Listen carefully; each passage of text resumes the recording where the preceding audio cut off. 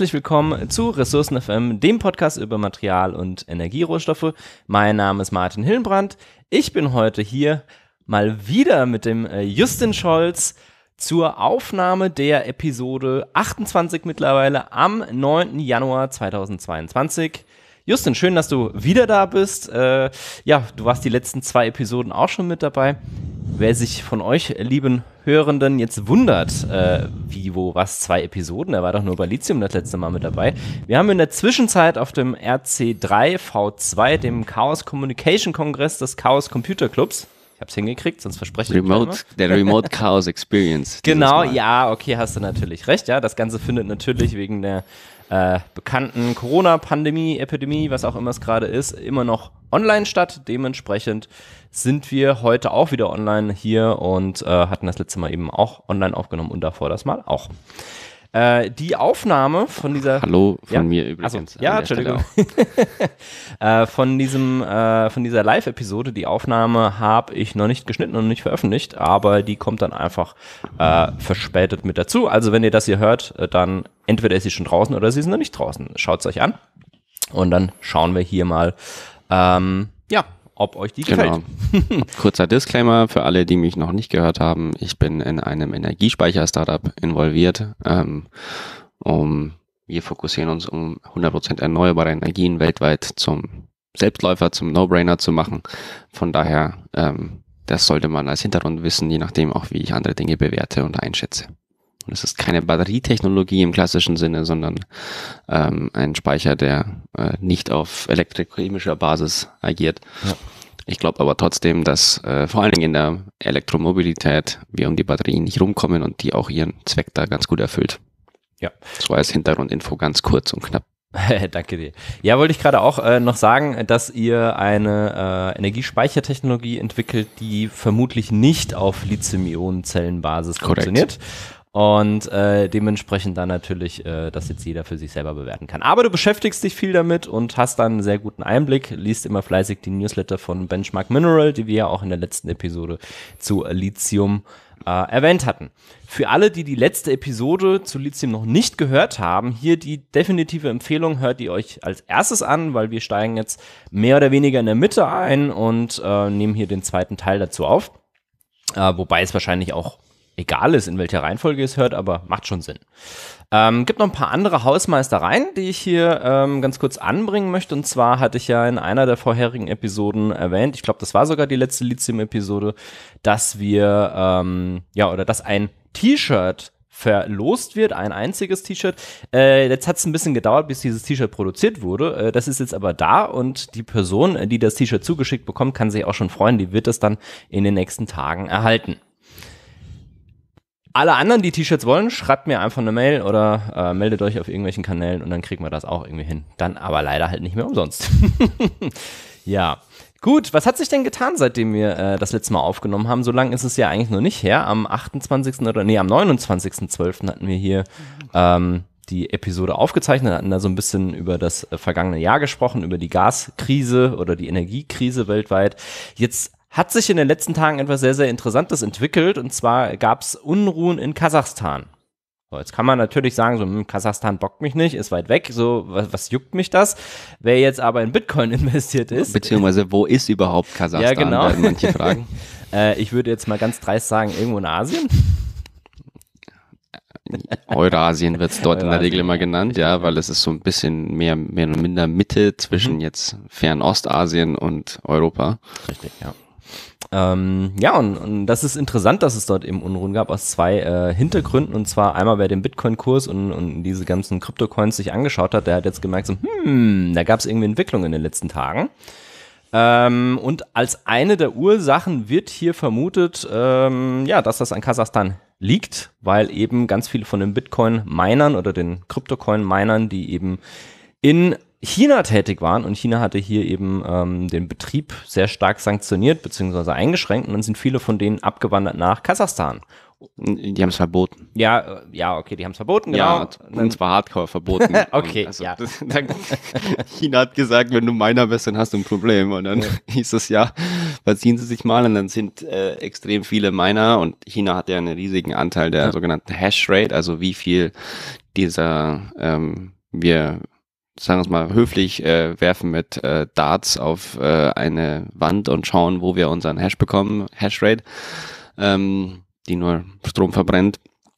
Ähm, die haben sehr viel Anteil gehabt weltweit und dann sind sie sind anscheinend viele nach Kasachstan aus, abgewandert. Und das merkt man daran, weil nach den Aufständen in Kasachstan dann das Internet, und zwar das komplette Internet des ganzen Landes einfach abgeschaltet worden ist und auf einmal ist die Hashrate von Bitcoin um 15 Prozent eingebrochen. Ja. Gleichzeitig kann man dann sehen, wenn man sich das anschaut, dass letztes Jahr ungefähr 9%, äh, was ich so gesehen habe, des Energieverbrauchs äh, durch Bitcoin-Mining entstanden ist, was auch die Energieknappheit befördert hat. Äh, und ähm, dann sieht man auch noch, dass die, äh, also was ich dann interessant fand, war, dass anscheinend äh, Kasachstan, das müsste man nochmal nachschauen, äh, sogar gemeint hat, sie würden gerne Atommeiler bauen, ja. um für Bitcoin-Miner äh, ein, ein gutes Land zu sein. Ja. Und dann kam noch dazu, dass die Lebensmittelpreise massiv angestiegen sind und wie man schon seit, ähm, seit längerem weiß, ähm, kann man über steigende Lebensmittelpreise und Commodity-Preise, aber insbesondere Lebensmittel- und Energiepreise kann man relativ gut sogar fast schon vorhersagen, wann äh, politische Unruhen und äh, Aufstände und ähm, Unruhen entstehen. Also das kann man, kann man sehr gut modellieren. Und das war dann auch nicht, un, also nicht unerwartet bei Kasachstan an der Stelle. Ja, da hattest du mir auch ähm, etwas zugeschickt und zwar ein Paper von 2011 oder 2014, glaube ich, äh, war das, ähm, zum Thema Zusammenhang zwischen arabischem Frühling und ähm, diesen Effekten, wenn ich mich nicht ganz täusche. Ich habe selber nicht gelesen, aber wir packen es vielleicht mal in die Shownotes, wenn wir es wieder finden. Und dann könnt ihr da auch nochmal reinschauen. Ist übrigens auch ein sehr interessantes Thema, weil ich habe ja meine Masterarbeit über den Zusammenhang zwischen ähm, Rohstoffpreisen und Spekulation ähm, ja, geschrieben, dann eine Meta-Regressionsanalyse gemacht und ähm, in dem Kontext ähm, war ja auch das Thema dann Lebensmittel und Spekulation mit Lebensmitteln ähm, relevant und eben auch ähm, einer der Punkte. Kann ich vielleicht auch mal äh, eine Episode drüber machen, wäre eigentlich auch mal interessant.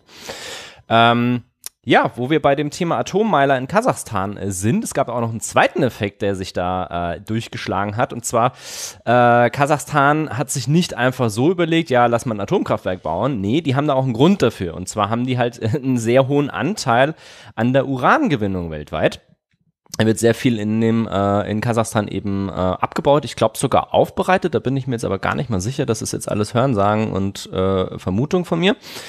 Ähm, aber jetzt haben einige Länder, die halt sehr stark auf äh, Atomkraft setzen, Hust, Hust, Frankreich, Amerika, ähm, ja, so ein bisschen Sorgen, wo sie denn ihr Uran herkriegen. Bei Frankreich ist also es jetzt... Zyniker, ja? Zyniker würden sagen, in Frankreich haben die genügend Boots on the ground in Afrika, dass sie an Iran kommen, aber... Richtig, wollte ich gerade sagen. Frankreich hat halt den Vorteil, dass sie halt so äh, ehemalige Kolonien haben und halt da auch nochmal andere... Äh, also ich glaube, du würdest, du machst ja? dich ziemlich unbeliebt, wenn du sagst, dass sie ehemalige Kolonien haben, sondern, also ja, also ja, sie, sie, haben das Land nicht mehr. Sie haben nur genau. Kontakte zu ehemaligen Kolonien, aber die haben ja die Kolonien nicht mehr, auch wenn sie ehemalig sind. Ja, okay, gut. Hast dann natürlich recht. Sophisterei hier, ja. nee, hast natürlich recht. Ähm, also die sind da äh, doch nochmal anders, ähm, haben da andere Verbindungen. Äh, und insgesamt hat auch Kasachstan gesagt, nö, ähm, gar keine Probleme. Es wird keinerlei Engpässe geben. Auch im, im ähm, Oil-and-Gas-Bereich wird es keine Engpässe geben, aber da gibt es trotzdem jetzt natürlich halt, also die Märkte reagieren halt darauf. Und ähm, äh, ja, die ersten Fragen gibt es halt auch so, ja, ist das denn so sinnvoll, äh, Atomkraft aufzubauen? So, natürlich jetzt auch vor äh, mittlerweile neun Tagen passiert, dass die EU gesagt hat, hey, äh, lass mal ähm, Atomkraft und Gas nachhaltig machen. Da haben wir in der letzten Episode auch schon so ein bisschen drüber gesprochen. Äh, in der letzten Episode auf dem Kongress war das Ganze aber noch nicht ganz so, dass die EU-Taxonomie hier eben gesagt hat, ja, mach mal äh, Gas und Atom nachhaltig. Äh, das ist jetzt heute der Fall. Ähm, und zwar hat Ursula von der Leyen am äh, 31.12., ich glaube irgendwann nachmittags, äh, hier die Bombe platzen lassen, dass die EU eben mit der EU-Taxonomie vorhat, Gas und, also Erdgas und Atomstrom als nachhaltig zu klassifizieren. Was mich selber sehr frustriert hat, weil ich in dem Bereich ja selber auch arbeite, aber das ist auch nochmal eine ganz andere Geschichte. So, jetzt haben wir hier eine äh, sehr drastische Entwicklung im Uran oder für Uran eine sehr drastische Entwicklung in diesem Markt. Die ist aber nicht nur ganz von Kasachstan gemacht, sondern da gibt es auch noch einen anderen Effekt, über den ich äh, über die letzten Tage drüber gestolpert bin und der komplett an meiner Wahrnehmung vorbei äh, stattgefunden hat. Äh, Justin äh, schmunzelte jetzt schon, weil in seiner digitalen Brandung wurde das natürlich wieder angespült, in meiner nicht. Ich habe es dann über andere Kanäle mitbekommen und zwar gibt es äh, eine, also ja? bei mir auch nur komplett zufällig, ja. weil ich einem random Dude, den äh, Nassim Taleb einmal empfohlen hat, dann einfach mal auf gut Glück auf Twitter gefolgt bin und der dann Teil dieser Gang war. Also das ist wirklich ja. eher so Glück an der Stelle. Und Gang ist der richtige Begriff. Ihr könnt mal auf Twitter äh, nach dem Hashtag Uranium Gang äh, suchen.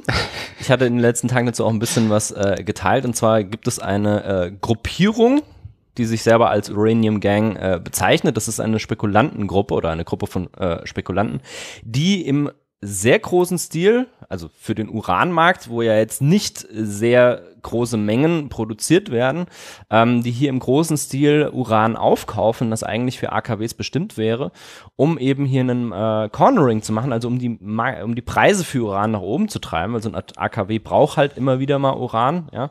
Und ähm, die kaufen hier im großen Stil auf und äh, verkaufen das dann eben teurer und da ist Hin ja? Hintergrund da ist halt, da hat oder was man so sieht, was ich gesehen habe, auch aus von denen ist halt, dass bisher diese AKW-Betreiber und Co. sich halt sagen, ja, wenn ich halt Uran braucht, dann rufe ich halt an und dann kriege ich halt Uran. Da ist dieses Bewusstsein nicht da, dass da irgendjemand mit Uran spekulieren könnte ähm, und äh, der Preis fluktuieren könnte in dem Bereich, der ihnen nicht gefällt. Und weil aber der Gesamtmarkt so klein ist, kannst du natürlich, wenn du ein paar Leute zusammenziehst ja. und daran das Zeug aufkaufst, kannst du halt dann die Preise nach oben treiben und diese Marktdynamik an der Stelle ausnutzen.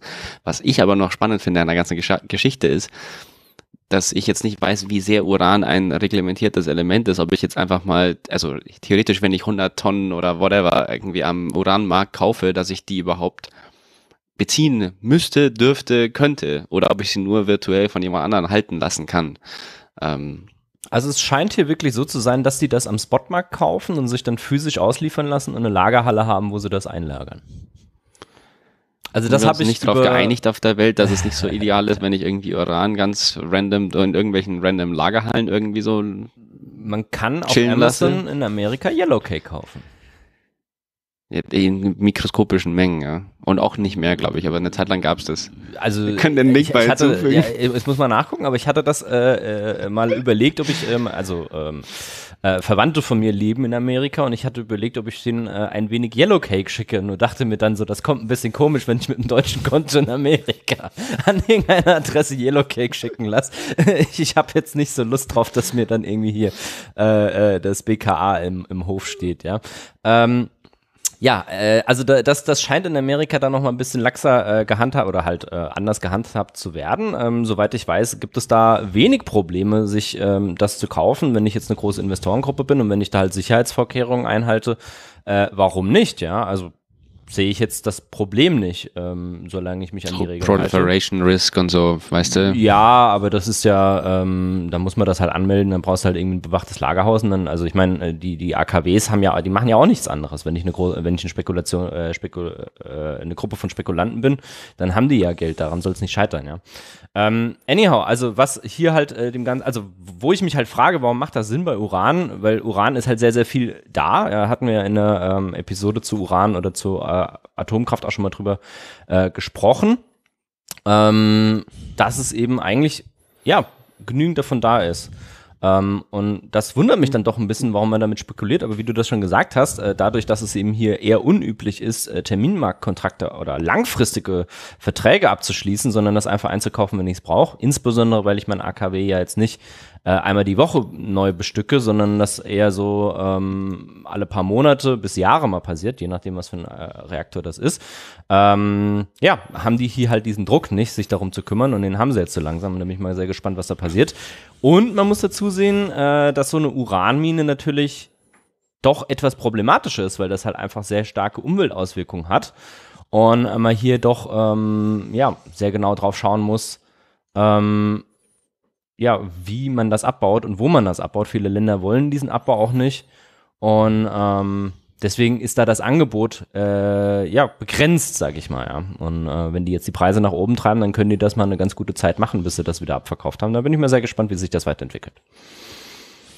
Gut, aber eigentlich wollten wir heute nicht über Uran, über Uran sprechen, sondern über was anderes. Ähm, dachte euch aber, das interessiert euch, deswegen nehmen wir das mal mit, ist eine aktuelle Entwicklung.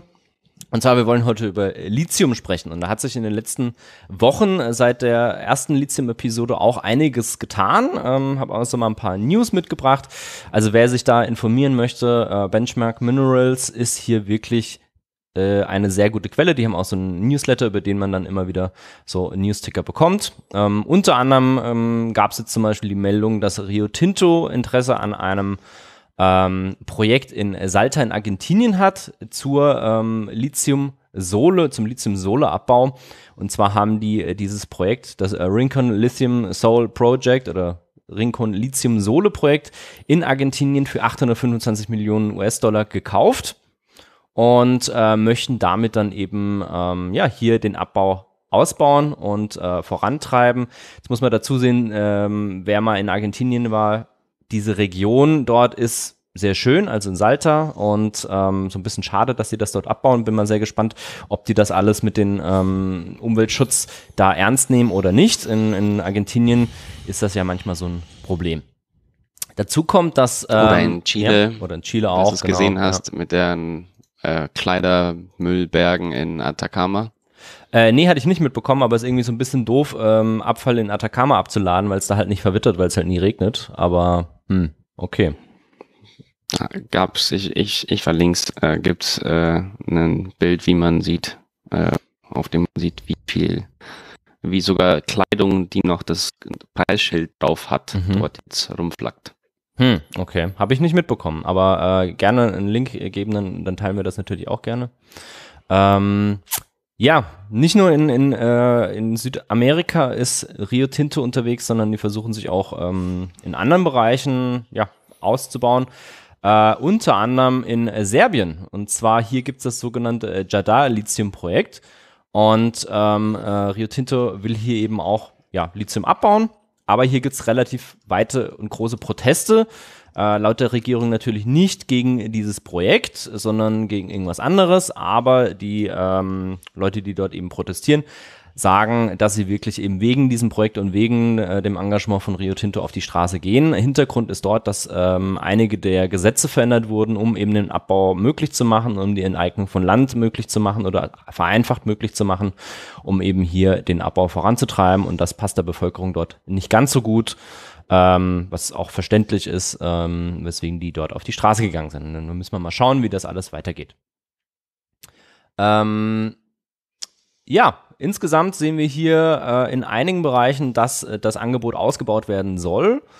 Ähm, kommen wir auch später nochmal drauf zurück, ähm, was das für Auswirkungen hat. Ähm, ist immer so ein bisschen die Frage, so die letzten Analysen von der IEA, also der Internationalen Energieagentur, waren so um den äh, Dreh rum Vervierzigfachung in den nächsten Jahren, äh, um eben ähm, das 1,5 Grad Ziel, also die Klimaerwärmung auf 1,5 Grad zu begrenzen. Ähm, müsste man ungefähr 40 mal so viel Lithium abbauen wie aktuell. Da sind wir noch weit davon entfernt, aber es tut sich auf jeden Fall viel in dem Markt. Jetzt ist es aber nicht so, dass man nur Lithium braucht, das haben wir das letzte Mal ja auch schon mal so ein bisschen besprochen, sondern äh, es gibt auch noch mal andere ähm, Bereiche, in denen abgebaut werden soll oder abgebaut wird, unter anderem für die Herstellung von Graphitanoden oder aber für Nickel. Und hier gibt es eben auch einige Projekte, die vorangetrieben werden. Ähm, zum Beispiel hat Tesla mit dem Bergbauunternehmen äh, Sira Resources den Kauf von äh, 10.000 Tonnen Graphitanoden pro Jahr äh, vereinbart und hier eben ähm, das äh, hier Verträge unterschrieben, um sich das zu sichern. Das ist alles in äh, Amerika, was dort passiert.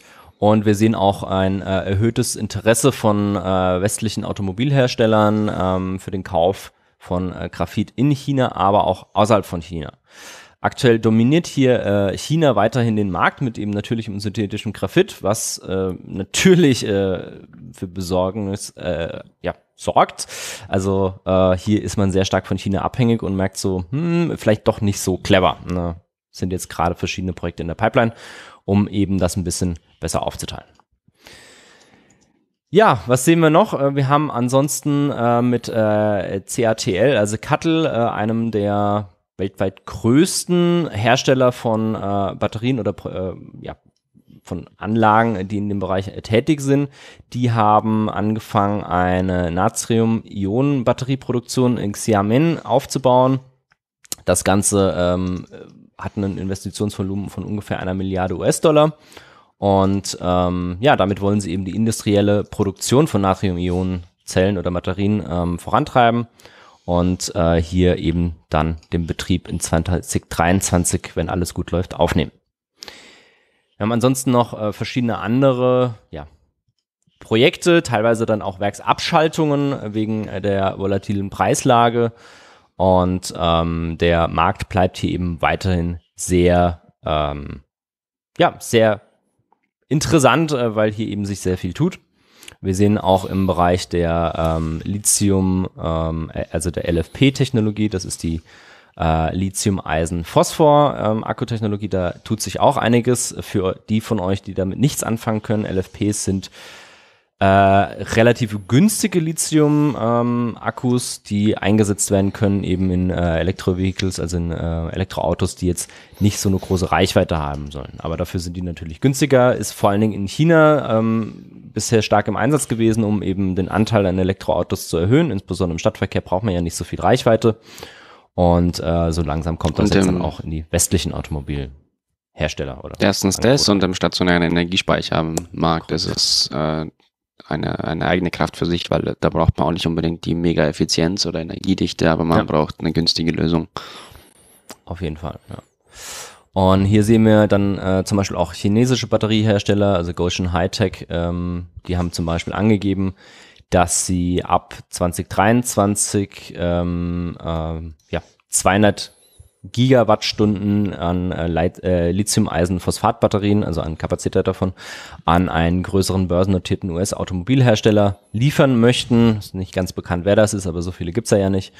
Und ähm, ja, das bleibt hier weiterhin äh, sehr interessant, was sich hier tut und wer sich wo absichert. Ich hatte ja da mal in der letzten Episode, glaube ich, auch gesagt, dass die deutschen Automobilhersteller so den Trend ein bisschen verpennt haben aus meiner Sicht. Äh, werden wir mal mhm. sehen, ob die das jetzt aufholen und nachholen und sich da mm. nochmal absichern oder ob die da also, einfach. Also, die ähm, Deutschen haben den Trend weniger verpennt als die Amerikaner und Toyota. Mm, okay. Also Tesla ist da vorne dran, aber ja. ich meine, was war es? Chrysler? Ja. Haben, sind, glaube ich, total hinten dran. Ford ist so im Mittelfeld.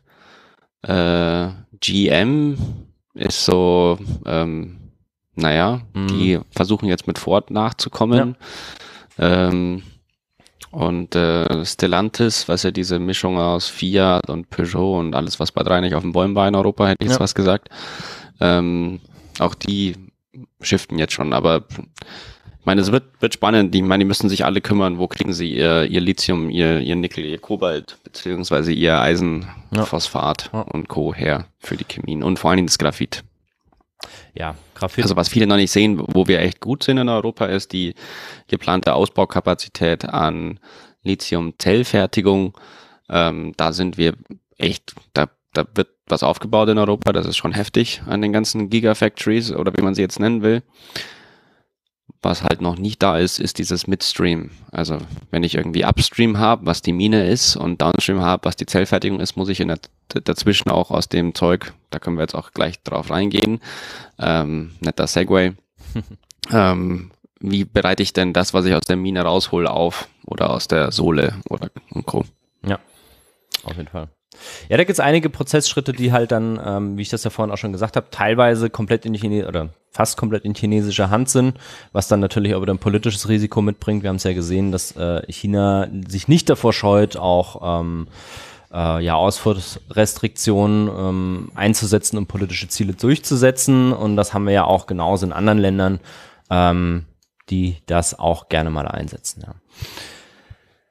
Ein kleiner Hinweis an der Stelle noch. Ähm, wir hatten das letzte Mal gesagt, dass es genügend Reserven und Ressourcen gibt. Wir hatten auch so eine kleine Milchmädchenrechnung gemacht. Ähm, also genügend Reserven und Ressourcen, um eben den Wandel unseres Energiesystems hin zu ähm, einem vollständig erneuerbaren Energiesystem, äh, dass das möglich ist und kein Problem ist oder auch auf Elektromobilität zu setzen möglich und kein Problem ist.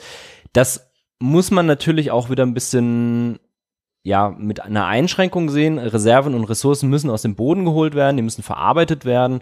Da sind noch ganz viele Prozessschritte dabei. Nur weil man das im Boden hat, heißt das ja noch nicht, dass man es als Akku einsetzen kann, ja.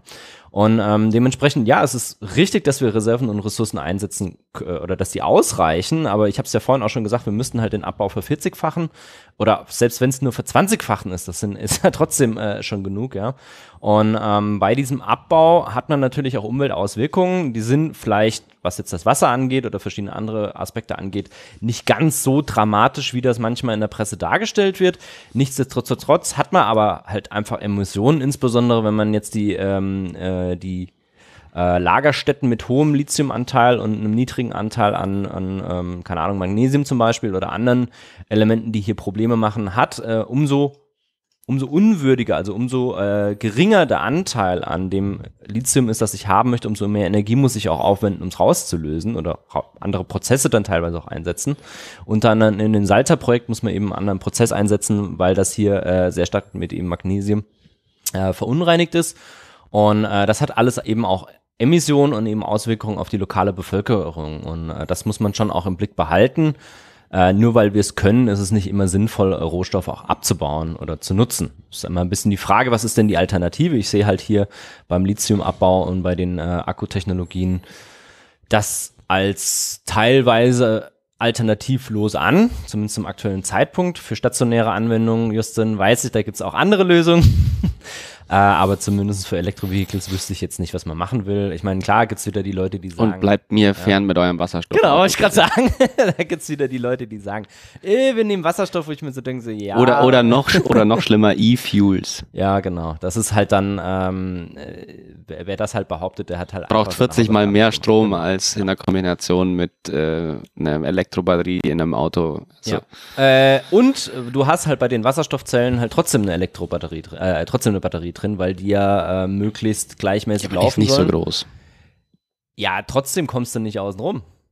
Also das muss man halt Ja, aber es, ist, ja. es ist ein Unterschied, ob du äh, 20 mal mehr oder zweimal mehr Lithium brauchst, jetzt bist gesagt. Aber bei E-Fuels zum Beispiel, da hast du ja quasi einfach, wir, wir fahren weiter Verbrenner ja. und aber das ist halt ja, das energietechnisch. Wir werden zwar extrem viel Strom haben, aber wir werden auch extrem viel Strom brauchen und ja. dann irgendwie ist da nochmal was, also wir haben noch eine Grafik eingebettet, ja. in einem, vielleicht sogar als Chapter Art, je nachdem, mhm.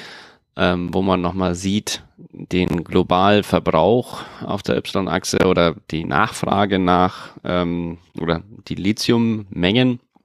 Und auf der ähm, horizontalen Achse sieht man die Jahreszahlen und dann aufgedröselt nach, wie viel ist schon in, in Förderung oder ist aktuell als Supply, als, als, als Angebot vorhanden und dann in unterschiedlichen Kategorien, wie wahrscheinlich sie dann an wirklich online kommen. Ja. Und dann auch eine Nachfragekurve, die fast schon konservativ ist, je nachdem, wie schnell diese ähm, Adoption Curve äh, denn jetzt tatsächlich ablaufen wird. Und ja. was man da sieht, ist, dass, äh, das muss als Hintergrund ist da halt immer wichtig zu wissen, diese Lithium-Förderstätten brauchen halt ihre sieben, äh, sieben Jahre oder so, bis sie online sind. Fünf bis sieben. Was schon vergleichsweise äh, soweit ich weiß. Ist, ja. Genau. Und ähm, wenn jetzt nicht vor sieben Jahren angefangen worden ist zu planen für einen steigenden, steigende Nachfrage, dann der, der Markt kann einfach nicht reagieren. Und das heißt, dann werden die Preise steigen, beziehungsweise langfristige Kontrakte und dann werden wir sehen, wie gut äh, Lithium dann überhaupt verfügbar ist auf dem Weltmarkt. Ja. Also. Ja, auf jeden Fall. Also ich habe ja immer noch so die Hoffnung, ähm, dass äh, das Lithium, das aus Deutschland kommt, also hier aus unseren äh, Geothermal Wells, also aus den äh, Geothermiequellen, dass wir damit dann doch nochmal was äh, bewirken können, aber das natürlich auch ähm, eher ja, ich sag mal Wunschdenken und das ist halt immer gefährlich. Das ist genauso wie bei der Klimakatastrophe insgesamt, wenn wir halt irgendwo auf Technologien wetten, die heute halt noch nicht funktionieren, die äh, noch nicht im großen Maßstab ausgebaut sind, also so äh, CCS und sowas, ja, das ist ja wunderbar, mhm. wenn wir das einberechnen in unsere äh, Analysen und unsere Annahmen, aber wenn wir uns halt drauf verlassen und dann klappt das nicht, dann haben wir halt ein Problem und genau das Problem haben wir ja jetzt gerade. Ja. Deswegen, mal, mal sehen, ähm, das sieht jetzt hier natürlich pessimistisch aus, aber äh, ja, nee, kein Aber. Vielleicht haben wir, vielleicht kommen wir ja doch noch irgendwie durch. Ich hoffe es zumindest. Ja. Also was man, was man in der Grafik, finde ich, zumindest sieht, ist, äh, wenn jetzt konsequent in den nächsten sieben Jahren der Bedarf sieben, acht, zehn Jahre später ansatzweise richtig vorhergesagt wird, dann hätten wir eine Chance, dass dieser Gap nicht so groß wird, wenn denn auch die Dinger gebaut werden können, was ja die nächste Frage ist. Ja, und da ist natürlich immer das Problem auch, ähm, hin und her macht Taschen leer. Also wenn wir sehr volatile Preise haben, dann sind die Bergbaukonzerne oder auch die, die Projektinvestoren eher nicht bereit, äh, dieses Risiko aufzunehmen, weil sie natürlich nicht wissen, ob sie dann ähm, ja, positiven Return haben. Ähm, das haben wir ja auch in den letzten Jahren gesehen in Bereichen, wo die Preise sehr stark fluktuiert haben von Rohstoffen, dass dort äh, die Aufnahme von neuen Projekten immer wieder auch unterbrochen wurde, immer wieder auch ausgebremst wurde und das einfach als risikoreich angesehen wird. Wenn sich dabei die Preise stabil erhöht haben, immer wieder um einen ähnlichen Faktor und auch stabil geblieben sind, mehr oder weniger, äh, dann waren hier Investoren eher bereit, äh, Projekte anzustoßen, weil sie eben Planungssicherheit haben und äh, dadurch stabilisiert sich der Markt auch insgesamt natürlich wieder. Ja. Ist natürlich beim Erdöl so ein, so ein Paradebeispiel, äh, umso volatiler das dort hoch und runter geht, umso eher ähm, drängt man dann auch Projekte raus aus dem Markt. Äh, wobei man da halt wieder das Problem hat, dass äh, Fracking zum Beispiel eine relativ einfache Technologie ist, verglichen jetzt äh, mit einem äh, Offshore-Drilling und äh, Fracking dann auch sehr schnell ein- und ausgeschaltet werden kann, ähm, weil das einfach nur Equipment ist, das rumliegt, die Leute sind eh da und damit kann man dann einfach solche, ähm, ja, solche Schwankungen auch ausgleichen, was natürlich schade ist, wenn man äh, gerne sehen würde, dass Oil und Gas auf dem absteigenden Ast sind, was jetzt natürlich für die Leute, die äh, auf äh, Petrotech äh, Produkte oder Edukte angewiesen sind, äh, schön ist, weil das natürlich da die Volatilität ein wenig glättet. Gut, aber kommen wir direkt, würde ich mal sagen, äh, steigen wir jetzt ein nach einer halben Stunde, ja, ähm, wie wir denn weitermachen wollen bezüglich Lithium. Und zwar haben wir das letzte Mal vor allen Dingen die Lagerstätten und so ähm, weltweite Themen uns angeschaut. Heute wollen wir mal ein bisschen mehr reinschauen, was steckt denn dahinter? So Gewinnung und Aufbereitung, wie funktioniert das denn? Äh, was passiert da denn? Und äh, bei Gewinnung und Aufbereitung muss man aus meiner Sicht drei Hauptquellen der Lithiumversorgung erstmal ähm, abstecken. Äh, die sind alle drei doch unterschiedlich voneinander, haben zwar teilweise äh, Überlappung, aber sind doch unterschiedlich. Und zwar die allererste Quelle ist die, die wahrscheinlich am unerwartetsten ist, zumindest für mich. Und zwar äh, Lithium bzw. Lithiumchlorid, das aus dem äh, Grundwasser gewonnen wird oder aber äh, über Geochemiebohrung. Das hat man das letzte Mal ja kurz angesprochen, dass das in Deutschland eine Option wäre. Und äh, hier scheidet man das eben aus dem Wasser ab, also entweder bei der Geothermiebohrung aus dem äh, Wasser oder aus dem äh, Mittel, das man dort einsetzt oder eben einfach aus dem Grundwasser, wenn man das Grundwasser fördert, scheidet das ab und äh, kann das dann weiter benutzen. Oder aber auch aus Ölquellen, weil das war mir vorher nicht bewusst, dass ähm, in Öl auch Lithium ähm, wohl gelöst vorkommen kann, beziehungsweise in den Ölquellen dann in dem äh, Restwasser, was darin auch nochmal enthalten ist, äh, drin vorkommen kann und dann kann man das auch abscheiden und nutzen. Ähm, sind eben alles drei ähm, Bereiche, wo man einfach eine, eine Bohrung durchführt in den Boden und dann dort unter anderem Lithium als äh, Nebenprodukt gewinnt. Äh, Nummer zwei ist das, was äh, die meisten von euch wahrscheinlich im Kopf haben, wenn sie an Lithium denken. Das sind einfach Salzseen oder Salare. Das ist das, was man eben äh, auch in Südamerika vor allen Dingen sieht, dass man hier äh, aus dem Salzsee die Lauge, die gesättigte, entnimmt, da dann das Lithium rausgewinnt und die dann zum Beispiel wieder zurückpumpt oder mit der andere lustige Sachen macht. Ähm, und das dritte ist der Abbau von Erzen, also Spodumen, das sind Pegmatite, äh, die im klassischen Bergbauprozess abgebaut werden und dann eben anders weiterverwendet werden können.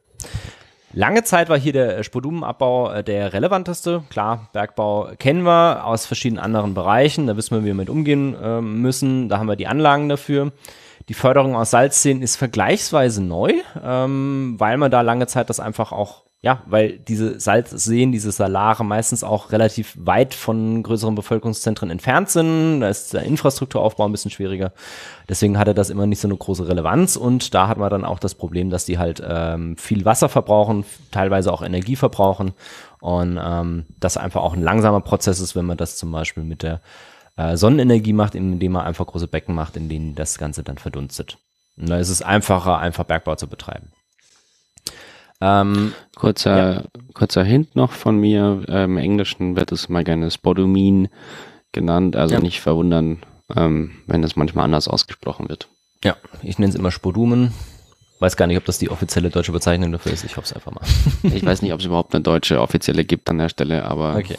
ähm, äh, ich hoffe, ihr verzeiht es mir. Ich habe ja immer wieder so Probleme mit zur Aussprache von irgendwelchen Ärzten oder Ländern. Alles oder gut, alles gut. Ähm, ja, äh, Spodumin oder Spodum ist im Grunde eine Form von Granit, also ein relativ festes Gestein, das dann eben da ähm, abgebaut wird.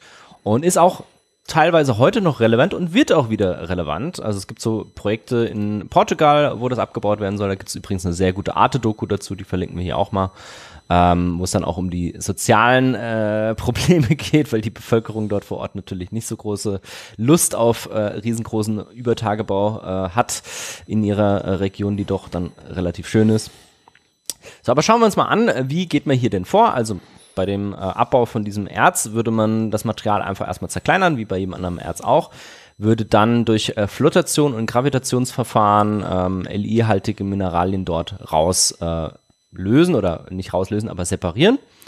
Ähm, das, was man dadurch dann gewonnen hat, würde man äh, kalzinieren, ähm, also das Konzentrat, das man daraus gewinnt, und hier dann durch eine Laugung Lithiumverbindungen rauslösen können. Und ähm, das ist dann im Grunde äh, normales Lithiumcarbonat, was dann einfach gehandelt werden kann. Ähm, Lithiumcarbonat ist eines der großen, ähm, ja, eine der großen ähm, Handelsgüter, ja dass man dann eben ähm, international austauschen kann. Das andere ist äh, Lithiumhydroxid.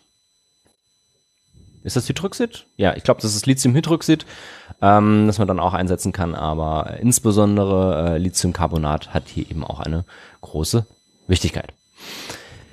Der zweite Prozess, den wir angesprochen hatten, war die Gewinnung aus Salzseen oder aus Salzsohlen. Im Grunde, wenn man aus dem Grundwasser das rauslöst oder aus dem äh, Geothermal Well, dann hat man auch so eine gewisse Form von äh, Salzsohle. Hier geht es jetzt aber vor allen Dingen um das Thema Salzseen. Und hier gibt's verschiedene Prozesse, je nachdem, was für eine Salzsohle das auch ist. Ich habe es ja vorhin gesagt, das kann ja auch mit anderen Elementen oder anderen äh, Stoffen äh, vermischt sein. Je nachdem muss man hier einen äh, unterschiedlichen Prozess einsetzen. Es gibt einen Prozess, der nennt sich DLR, also Direct Lithium Recovery. Ähm, das ist ein vergleichsweise neuer Prozess, in dem man versucht, aus der Sohle selber direkt das Lithium abzuscheiden und rauszugewinnen. Äh, da gibt es auch den Electrochemical Lithium Recovery, ELR, äh, ebenso vergleichsweise neu, ähm, wo man dann über elektrochemische Verfahren versucht, das rauszulösen. Und also die ja, älteste, die klassische Methode ist hier die Verdunstungsmethode, äh, Lime-Soda-Methode. Äh, hier wird auch das meiste immer noch mit abgebaut. Ja. Also man nimmt einfach die Sohle, breitet die in großen Becken aus und äh, lässt dann einfach die Höhensonne oder die Sonne hier ihre Arbeit tun, ähm, indem man einfach das Wasser dort raus verdunsten lässt und ähm, der nette Nebeneffekt ist, dafür muss man nicht viel machen, außer einem Becken ausheben und ansonsten macht die Sonne das, da hat man keinerlei Stromkosten oder sowas. Aber man hat natürlich halt äh, einen krassen Eingriff in das äh, Ökosystem dort, weil man einfach über einer großen Fläche äh, diese Sohle ausbreitet, damit dann Verdunstung hat und äh, dadurch dann eben auch wieder der Wasserspiegel in diesen Sohlebecken sinkt.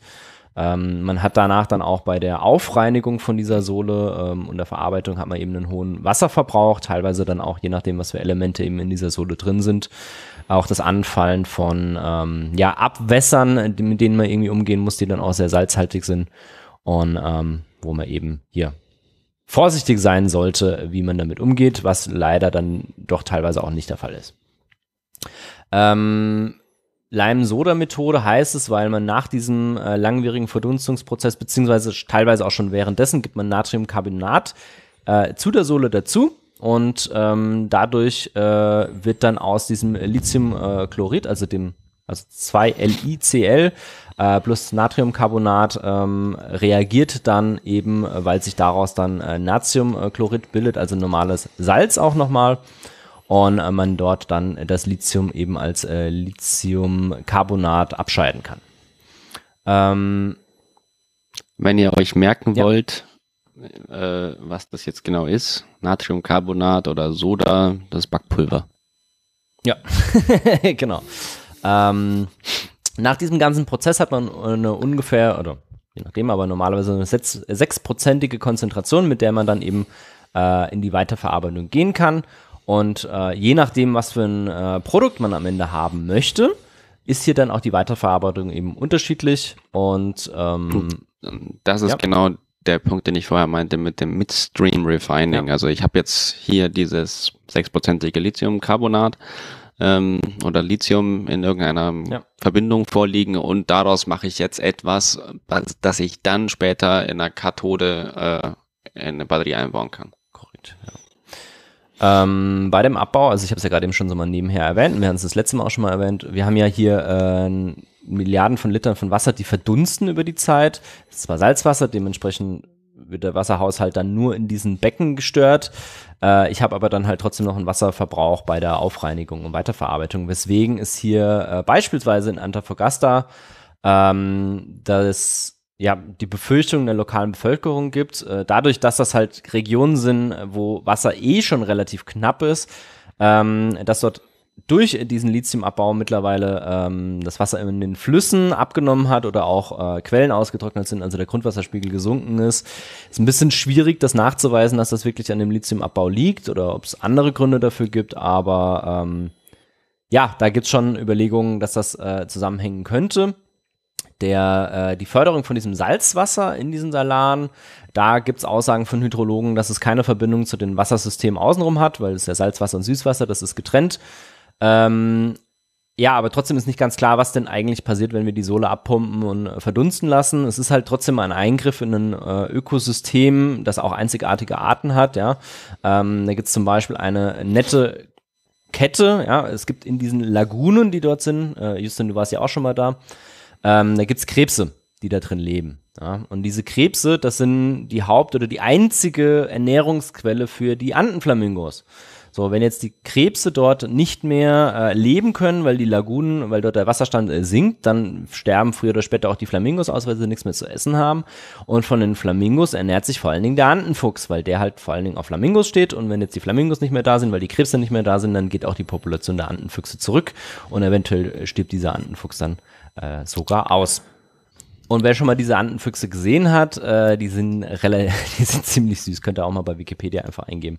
Äh, und unabhängig davon wäre es natürlich schade, wenn wir hier wieder, ähm, nur weil wir jetzt irgendwie unsere Elektroautos haben wollen, irgendwelche ähm, ja, Ökosysteme durcheinander bringen, die dort halt auch sehr aufeinander angewiesen sind. Also der Andenfuchs hat nicht wirklich viele andere Quellen als diese Flamingos, um sich zu ernähren und die Flamingos halt auch nicht, äh, außer diesen Krebsen.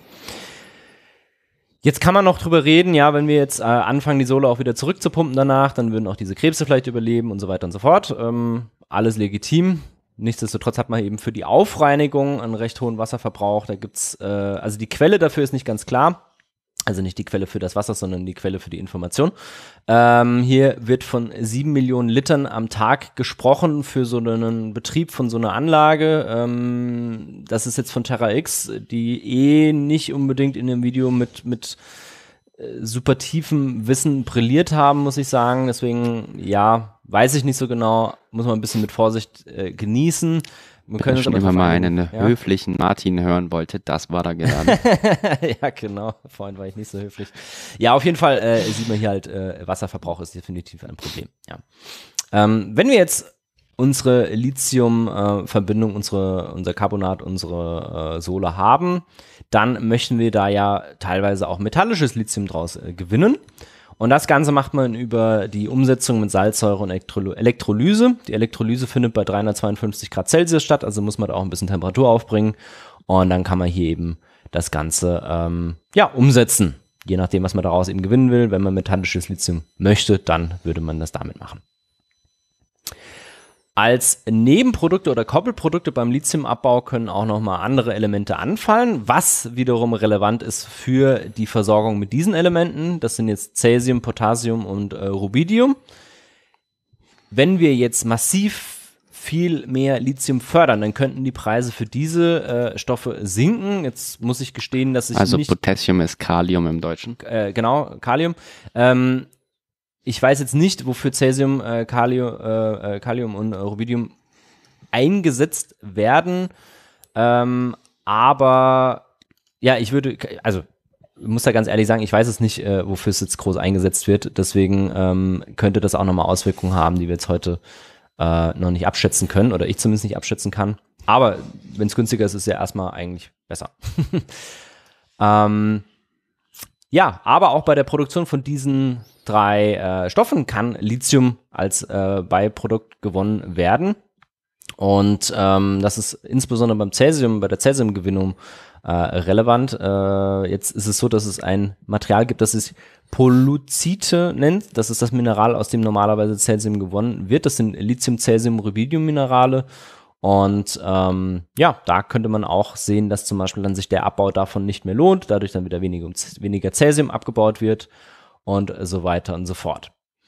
Ich hatte mir äh, in der Vorbereitung für diese Episode auch ein paar Studien angeschaut, die dann verschiedene Zusammenhänge ähm, zwischen dem Abbau verschiedener Mineralien ähm, aufzeigen. Konkret ging es um Granger-Kausalitäten, äh, beziehungsweise ähm, man weist ja keine Granger-Kausalität nach, sondern man weist äh, nicht keine Granger-Kausalität nach, also man macht den Negativtest in dem Bereich und ähm, hier gab es interessanterweise in der Quelle, die ich rausgefunden habe, einen äh, scheinbaren Zusammenhang zwischen Lithium und Kalisalzen. Ähm, Lithium hat hier wohl, also der Abbau von Lithium hat hier wohl einen Einfluss auf den Abbau von äh, Kalisalzen, was ich sehr interessant fand, weil Kalisalze somit einer der wenigen Rohstoffe sind, die wir in Deutschland fördern und äh, wo wir halt in Deutschland äh, auch äh, sehr viele davon fördern. Ähm, sonst hat ja Deutschland nicht so viele Rohstoffe, die wir abbauen uns können. Und das fand ich sehr interessant. Und zwar ähm, gab es hier eben eine Zeitreihenanalyse und zwar hat sich die Prognose verbessert, ähm, den Kali-Preis über äh, in der Zeitreihe zu prognostizieren gegenüber einer rein univariaten Zeitreihenprognose und zwar mit einem P-Wert von 0. Äh, was ich komisch fand, weil normalerweise ist der P-Wert nie gleich 0, aber hier ist er wirklich bis auf die Was, was heißt der P-Wert für die ähm, Nicht-Statistik-Nerds? Äh, der P-Wert ist im Grunde eine Aussage darüber, wie zuverlässig diese Aussage ist. Ja. Also das ist jetzt Und was würde ein P-Wert von 0 bedeuten? Äh, dass du also in, ja, in, in diesem Fall, weil es ja eine nicht eine, eine nicht nicht äh, Korrelation ist, würde ein P-Wert von 0 heißen, dass es perfekt korreliert. Ja, und also beziehungsweise würde hier sagen, weil es eine Zeitreihenanalyse ist, dass die Zeitreihe, in der wir bei der Kali-Preis-Zeitreihen-Prognose, ähm, wenn wir dort äh, die Lithium-Preiszeitreihe äh, mit reinnehmen, verbessert sich die Prognose im Vergleich zu einer Betrachtung von nur der Kali-Zeitreihen-Prognose äh, absolut. Also es ist auf jeden Fall besser, äh, hier Lithium mit reinzunehmen, was eigentlich nicht der Fall sein kann. Also ich kann es mir nicht so ganz erklären. Äh, wer hier mehr weiß, gerne. Kalisalz ist mit Kalium, oder? Ähm, ja. Naja, wenn ich jetzt auf einmal riesige Mengen Lithium fördere und da ein Nebenprodukt Kalium ist und ich aus dem Kalium dann Kaliumsalz herstellen kann und diese Nebenprodukte, Koppelprodukte inzwischen mehr Fördermenge sind als die eine Kaliumförderung weltweit. Ja, aber das würde das nur dann null werden aus meiner Sicht. Also so war jetzt meine ähm, war jetzt meine, äh, das, was ich jetzt hier sehe, äh, würde nur Sinn machen, wenn wir gar kein Kali-Salz mehr sonst abbauen würden, ja. Ja, und was hier auch noch komisch ja, ist. 0, ja, kommt halt drauf an, wie viele Nullen ja. du da hast. Ja, ja. Richtig. Kurzer Hinweis noch zu Cäsium wird gerne auch in der Raumfahrt bei Ionentriebwerken verwendet und in der Forschung. Also wir können dann mehr forschen und mehr Sonden mit Cäsium-Ionentriebwerken durch die Gegend fliegen lassen. Ja, aber ich glaube, wir brauchen da auch nicht so viel Cäsium dafür. Aber ja, okay, hast du natürlich ja. ähm, also, was aber in dem Kontext auch noch interessant ist, eigentlich würde man dann eine Co-Integration erwarten, aber, also, beziehungsweise, würde sie hier nicht erwarten und es gibt auch keine Co-Integration, aber mit einem P-Wert von null. Also, es ist ein bisschen shady. Was ist dann eine Co-Integration? Oh je, äh, wenn ich jetzt noch eine Co-Integration. Hast du das schon mal erklärt im Podcast? Ähm, nee, habe ich noch nie erklärt, muss ich gestehen. Ich bin mir auch nicht sicher, ob ich jetzt hier die perfekte äh, Definition einer Co-Integration hinbekomme. Ähm, ich versuche es mal. Und zwar liegt eine Co-Integration vor, wenn zwei oder mehr äh, Variablen, äh, wenn dort ein langfristiges Gleichgewicht besteht. Ja, also dass sich die eine Variable verändert, dann weiß ich äh, bei einer Co-Integration, wie sich die andere verhält. Ja. Ähm, das geht aber, soweit ich weiß, nur bei integrierten Variablen. Ähm, Also ich glaube, du hast gerade 80 Prozent der Hörenden verloren. Ja, ja, okay. Also, ja, ja, ist halt Statistik. also äh, ich bin da ja auch nicht perfekt drin, muss ich sagen. Ich habe das in meiner Masterarbeit gemacht und mich da viel mit beschäftigt. Was würde denn das bedeuten, ja. wenn hier eine Co-Integration vorliegen würde, wenn, auch wenn wir nicht wissen genau, was es ist? Äh, dass langfristig die beiden äh, Variablen miteinander zusammenhängen. Also die sind in einem Gleichgewicht. Und die ja. Variablen wären dann Lithiumpreis mit Kalium-Salzpreis. Ja. Okay, Was, das heißt, wenn eine Co-Integration vorläge, dann wären die stark korrelierend und zusammenhängend. Ja, ja. aber normalerweise, also mit einem P-Wert von 0 heißt das, dass die halt komplett voneinander abhängig sind, wenn ich das richtig interpretiert habe. Und das ist halt eigentlich nie der Fall, weil du hast immer irgendwo auch also du das ist ja eine langfristig, ja. Äh, im, Im Kleinen hast du eigentlich immer auch irgendwie Unterschiede, dass sich das unterschiedlich entwickelt oder unterschiedlich äh, verhält. Aber lass mal mal so stehen. Weiß nicht, wie die auf ihre Daten gekommen sind. Nachgerechnet habe ich es nicht. War jetzt von der Deutschen Rohstoffagentur, die eigentlich immer relativ gute Informationen haben. Wenn, wenn ihr Statistik Nerdin oder Nerd seid, ja. dann könnt ihr gerne in der Kommentarspalte das hier ausklabüsern dann können wir das nachtragen in der nächsten Folge. Äh, Fun Fact: Ressourcen FM hat keine Kommentarspalte, aber ihr könnt uns gerne eine E-Mail schicken oder aber auf oder Twitter so. schreiben oder über die zahlreichen anderen ähm, ja, Möglichkeiten mit uns Kontakt aufzunehmen, könnt ihr das hier reinschreiben. Freue mich immer drüber, ich lerne gerne dazu und ähm, ja, Statistik ist cool. Ich würde so gerne mehr davon verstehen, aber äh, teilweise ist dann irgendwo auch mal bei mir Feierabend, muss ich gestehen. Gut, kommen wir zurück zu Lithium, dann wird es weniger peinlich für mich. ähm, da ist nichts peinlich. Ja, das stimmt, man muss ja offen damit umgehen. Was äh, nicht zu wissen, ist nicht peinlich. Genau, das ist einer der größten Trug Trugschlüsse, die viele haben. Voll und ganz richtig. Ähm, ja. Was, was bedeutet das jetzt alles, was wir jetzt hier äh, gesagt haben? Und zwar ähm, sehen wir in den letzten Jahren einen Engpass in der Versorgung mit äh, Lithium. Äh, deswegen sind auch die Lithiumpreise in den letzten Jahren oder in den letzten Monaten sehr stark angestiegen. Und äh, das geht auf der einen Seite zurück auf äh, die Produzenten, die hier ähm, ja teilweise Projekte wieder eingestellt hatten, weil die Lithiumpreise zwischendurch auch mal wieder abgesunken sind.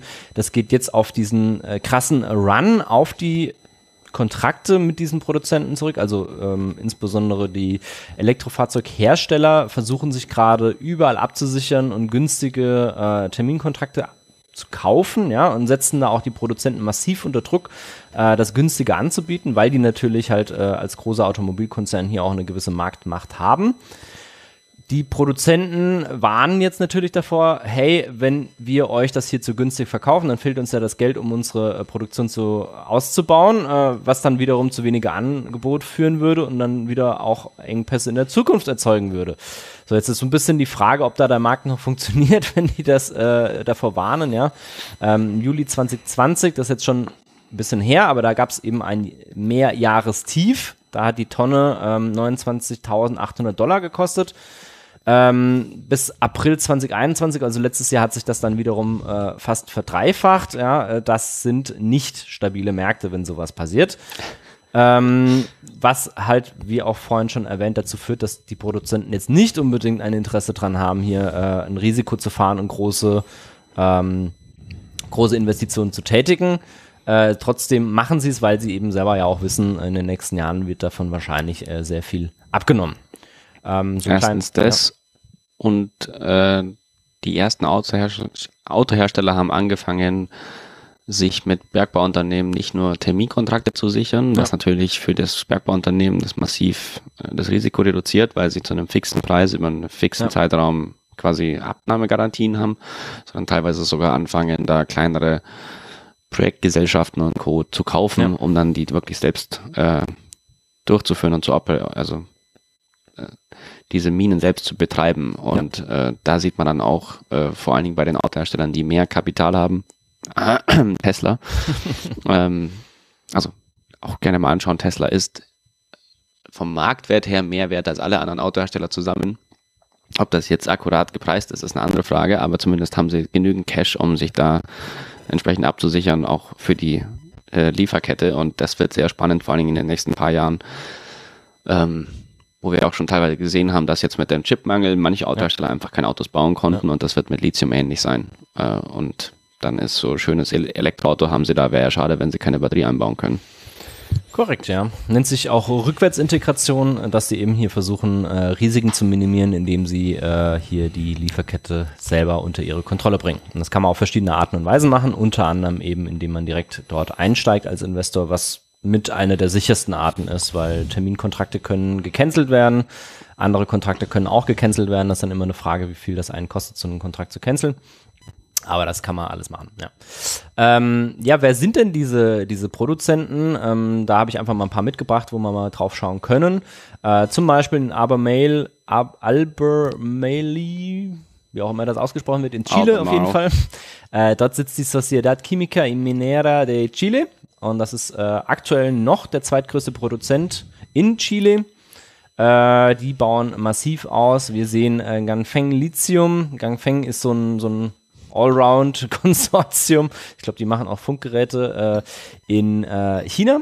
Und die haben hier, also das ist das insgesamt weltweit größte Bergbauunternehmen mit einem Marktwert von äh, um die 19 Milliarden US-Dollar. Ich weiß nicht, ob der sich mittlerweile jetzt schon wieder verändert hat, weil die äh, Werte da ja gerade auch sehr volatil sind. Oder aber, äh, beziehungsweise die planen gerade ein äh, Projekt in Argentinien. Ähm, das Cauchari Olaros äh, Lithium-Salzsee-Projekt.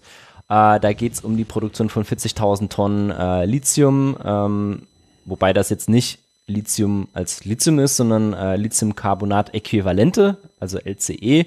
Äh, wie wir das vorhin gesagt haben, so Lithiumcarbonat kann halt auch mit Verunreinigung kommen oder irgendwie mit anderen Stoffen drin. Deswegen hat man da irgendwann angefangen, wenn man das handeln möchte, wir, wir führen jetzt einfach mal so wie bei den CO2-Äquivalenten, wo wir dann irgendwie auch Methan und anderes drunter berücksichtigen, nennen wir das jetzt einfach mal Lithiumcarbonat-Äquivalent, damit man irgendwie eine fungible Einheit hat, die man dann auch handeln kann. Denn was die man noch wunderbar verwechseln kann genau, von der Abkürzung richtig, her mit ja. den Lifecycle Emissions. Richtig.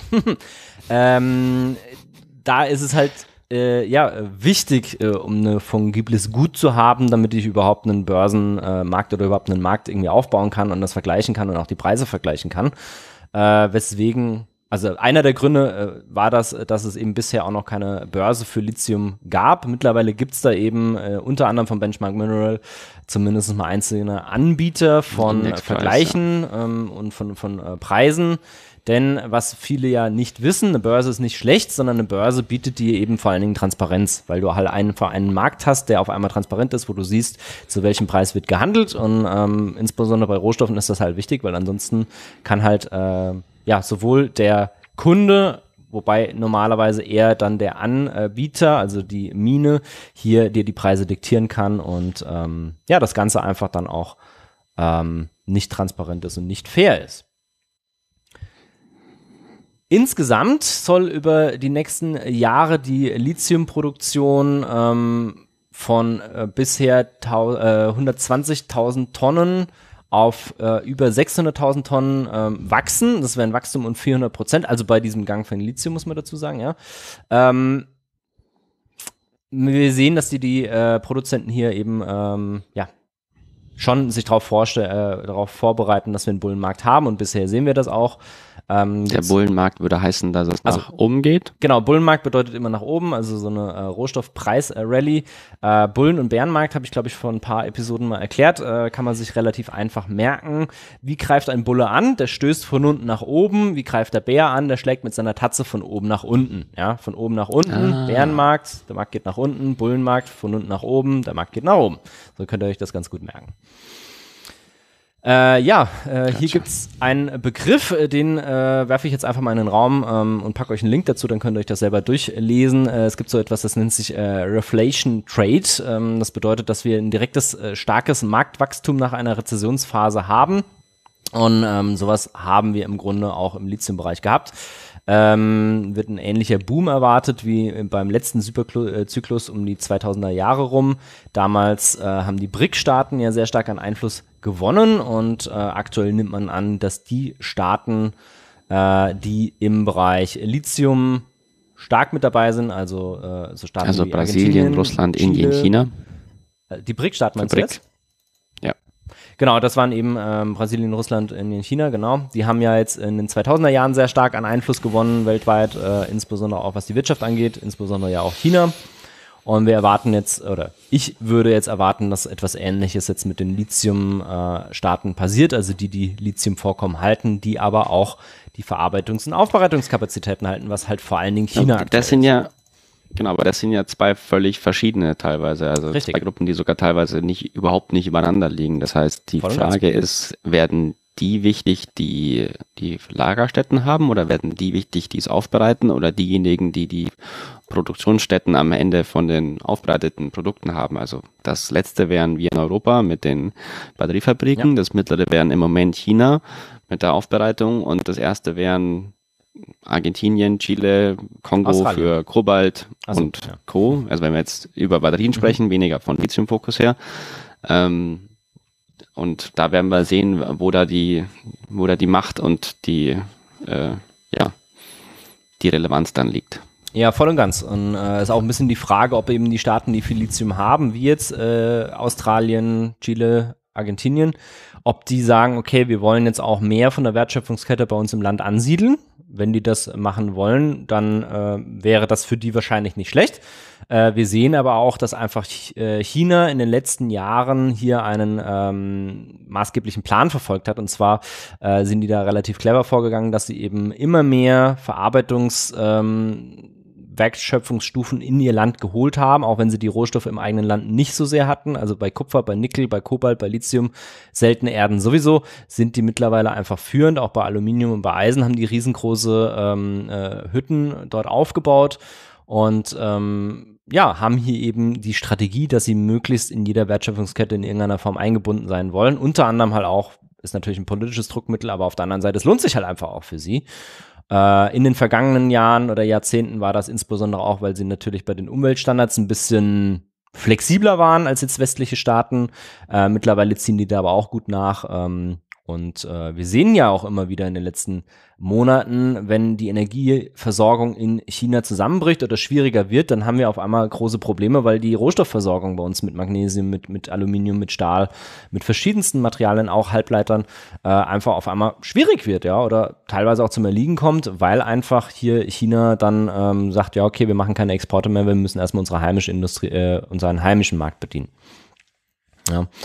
Und ähm, das bleibt meiner Meinung nach sehr spannend, äh, wie sich das weiterentwickeln wird. Und ähm, da haben wir hier auch mal einen Chart mit reingepackt, äh, wo man dann sieht, ähm, also von der äh, Internationalen Energieagentur ist das, ähm, wo man sieht, äh, wie sich der Extraktionsmarkt und der Processing-Markt hier unterscheiden für verschiedene Rohstoffe. Ja. Ähm, Insgesamt sehen wir hier auch, dass ähm, bei dem Markt für die äh, Energy Transition, also es gibt ja einen, ähm, es gibt ja Elemente oder es gibt Materialien, die insbesondere relevant sind für äh, den Umbau unseres Energiesystems hin zu einem, ähm, hin zu mehr erneuerbaren Energien. Und äh, hier sehen wir eben auch, dass äh, China, was Graphit und seltene Erden angeht, ähm, sehr weit mit vorne dabei ist bei der Förderung dieser Mineralien, aber bei den anderen eigentlich nicht wirklich relevant ist. Vielleicht bei Kupfer noch ein bisschen, aber da gibt es andere Player, die dann weitaus wichtiger sind.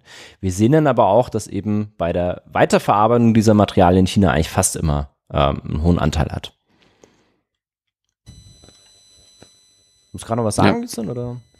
Nee, ich habe nur gefragt bei den Graphen, ob das jetzt Produktion ist, aber das, das eine Produktion. ist Produktion, ja. wirklich, wo wird es gefördert und das andere wird ist, wo wird es aufgearbeitet. Und da sieht man wirklich, ja. äh, vor allem bei der Aufarbeitung, ja. ganz korrekt, wie auch von Benchmark irgendwie fast schon gebetsmühlenartig wiederholt.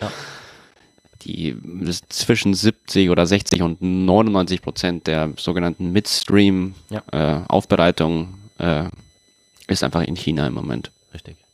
Wir sehen bei Lithium zum Was Beispiel übrigens aber nicht so sein muss. Also das können wir auch nachbauen, aufbauen, wenn wir denn wollen. Also ja, ist auch ein bisschen die Frage von eben ähm, Preiskampf. Ne? Also es war halt die ganze Zeit günstiger, das in China zu tun. Äh, eben wegen niedrigeren Umweltstandards, teilweise auch, weil dort dann einfach ähm, ja, verschiedene Anreize gesetzt wurden, äh, weil man vielleicht auch in ähm, dem eher westlichen Ländern ähm, sich davor scheut, solche Schwerindustrie anzusiedeln, ja, also das ist einfach ein Problem oder halt wie bei den seltenen Erden, was ich auch in der seltenen Erden-Episode schon gesagt hatte, äh, wir schlichten einfach die Kompetenz nicht haben. Wir haben äh, nicht die Fäh wir können so Anlagen hier nicht aufbauen, weil wir das Wissen nicht haben. Ja. Wir müssten. Wir, wir ist, können das Wissen aber aufbauen. Also äh, ja, aber das ist relativ schwierig und zwar geht es hier nicht um äh, explizites Wissen, das du aus Büchern hast, sondern um implizites Wissen von den Technikern und von den Werkern dort. Ähm, und zwar arbeiten die, was, was viele ja nicht wissen oder was, was auch schwer vorstellbar ist, äh, so Leute, so ein Gießer in der Stahlhütte, das sind krasse Dudes einfach, muss man einfach so sagen. Äh, die schauen drauf und können dir ganz genau sagen, wann sie ihren Abstich machen müssen, wann sie ihre Prozesse machen müssen. Das ist implizites Wissen, das können die auch gar nicht dir äh, aufschreiben oder sowas, sondern das wird einfach ähm, weitergegeben dann an die Azubis. Das muss man lernen. Ähm, das das, das haben die einfach im Gefühl, ja, im Gespür. Und da versucht man Aber ja das ist ja ein Wissen, was wir aufbauen können. Genau. Das würde halt Zeit dauern und du wärst am Anfang nicht so gut. Aber ja. das ist ja ähnlich wie bei China gewesen, die am Anfang genau. auch nicht irgendwie mit der Muttermilch das Know-how gehabt haben, sondern die haben angefangen, waren am Anfang schlechter und dann wirklich günstiger und dann hatten sie aber eine Industriepolitik, die gesagt hat, nee, ihr müsst aber so ja. und so viel Chinesisches produzieren und dann wirst du besser und dann kommst du nach, du musst es nur wollen an der Stelle, glaube ich. Also ich meine, wir haben auch nicht gelernt oder direkt, wie man jetzt ordentlich Lithium-Ionen-Zellen produziert ja. und haben jetzt auch dieses Know-how aufgebaut und bauen es auf. Also klar, aber es ist halt teuer. Es kostet halt einfach Geld. Ja, das ja ist das aber Thema. abhängig sein und dann gar nicht bauen können, ist womöglich noch teurer. Klar, volle Zustimmung, ja, aber es ist, irgendeiner muss es halt zahlen und das ist halt das Problem, das du hier hast, ja. Und äh, da gibt's ja auch Überlegungen, eben ähm, da was zu tun. Deswegen gibt's ja verschiedene auch Initiativen in der EU, die da sagen, okay, wir müssen eben strategische Punkte auch besetzen und da zumindest Minimalkapazitäten haben, um eben so einen Ausfall abzufedern, ja. Ähm, bei seltenen Erden ist ja, klar, könnte man machen, aber es ist halt dann auch relativ schwierig, da mit den Chinesen mitzuhalten, muss ich ganz ehrlich sagen. In Malaysia wird da auch noch mal ein bisschen was verarbeitet, aber muss man auch sagen, dass es halt meistens dann chinesische Arbeiter sind, die dort eingesetzt werden, die aber da auch, ähm, also China macht das schon relativ gut, weil diese Leute, oder halt ein bisschen inhuman, aber äh, macht das relativ gut. Denn die Leute, die dort dieses implizite Wissen haben, die werden auch nicht in andere Länder gegeben, außer eben in Malaysia teilweise.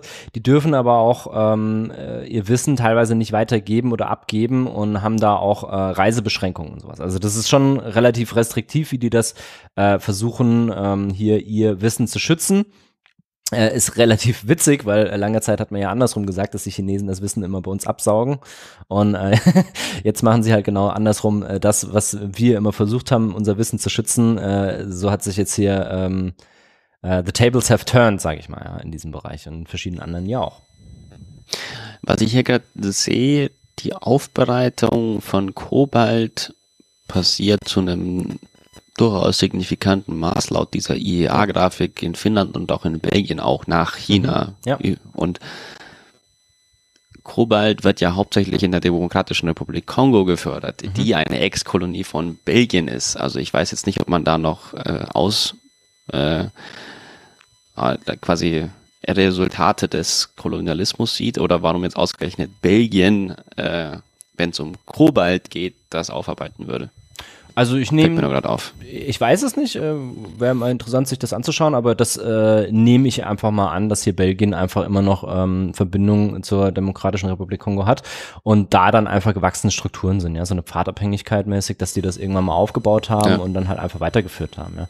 Ist eigentlich auch nicht verwunderlich, dass China hier eben auch sehr stark ist. Ähm, hängt auch damit zusammen, zumindest Hören sagen. Das ist so das, was man hört, was natürlich keiner nachweisen kann, aber Hören sagen sagt einfach, dass äh, in der Demokratischen Republik Kongo ja der Kobaltabbau auch genutzt wird, um die Konflikte dort anzuheizen und ähm, ja, Amerika und Europa haben dort ja Maßnahmenpakete verabschiedet, um eben diese äh, Konfliktrohstoffe stärker zu überwachen und das sicherzustellen, dass man eben keine Konflikte damit anheizt, wenn man die Rohstoffe dort kauft. Jetzt gibt es natürlich aus der Demokratischen Republik Kongo heraus äh, große Schmuggelbewegungen.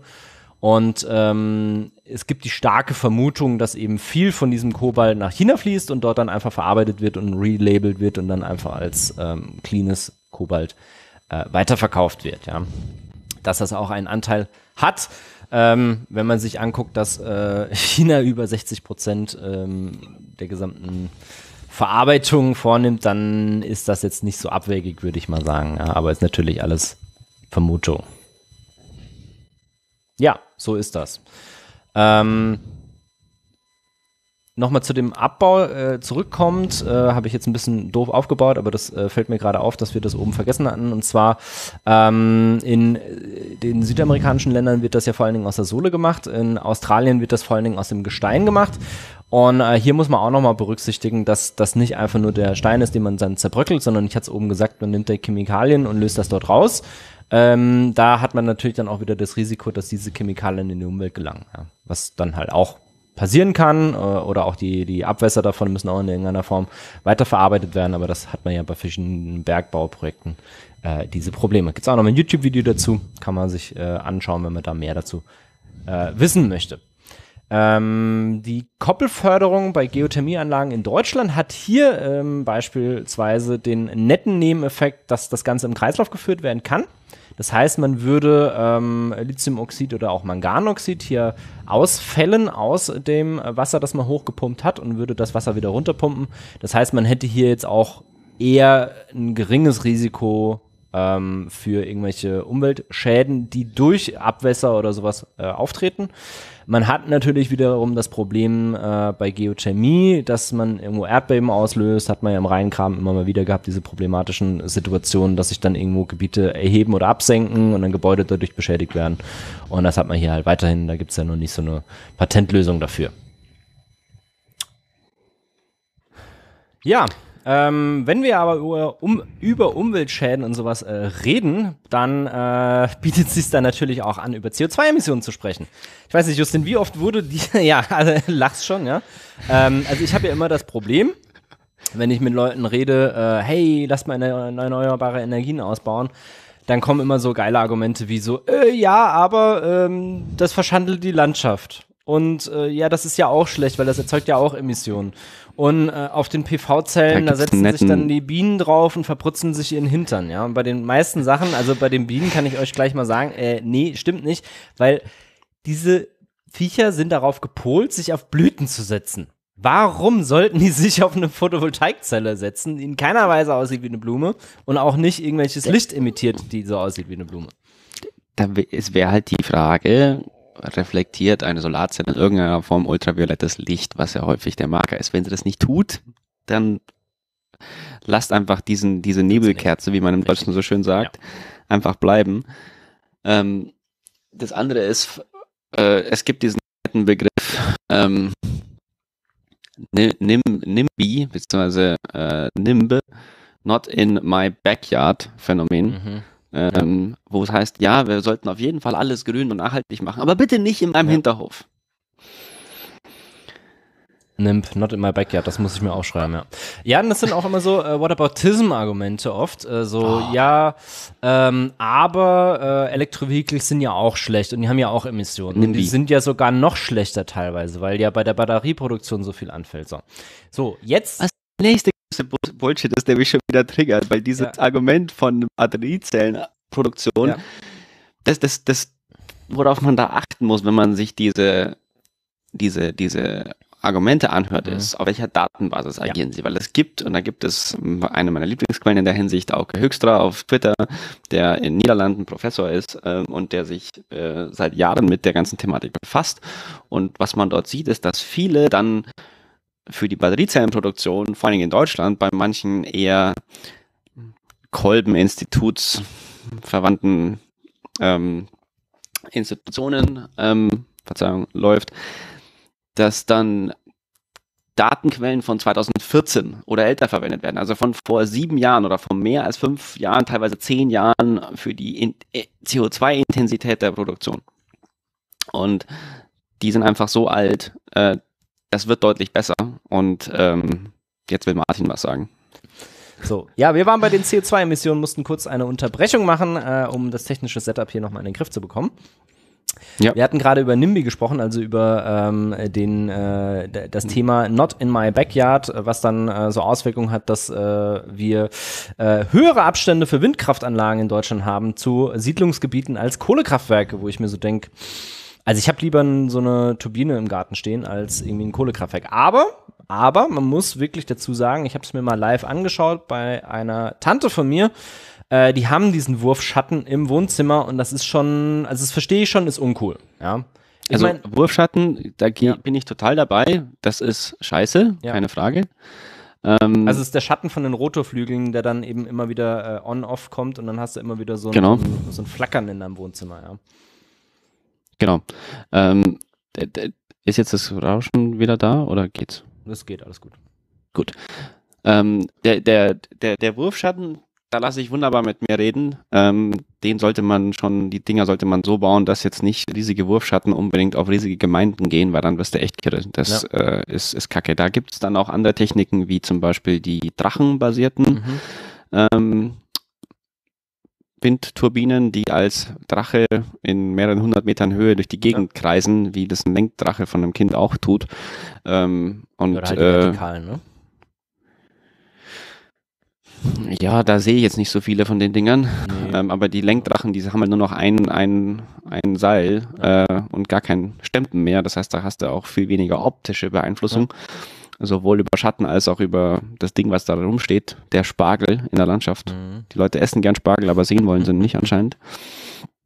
Ähm, aber die ähm, die, die, Argumentation über Infraschall, wie wir ja auch festgestellt haben, ist einfach absoluter Bollocks. Also man hat das schon, also die Dinger hört man schon.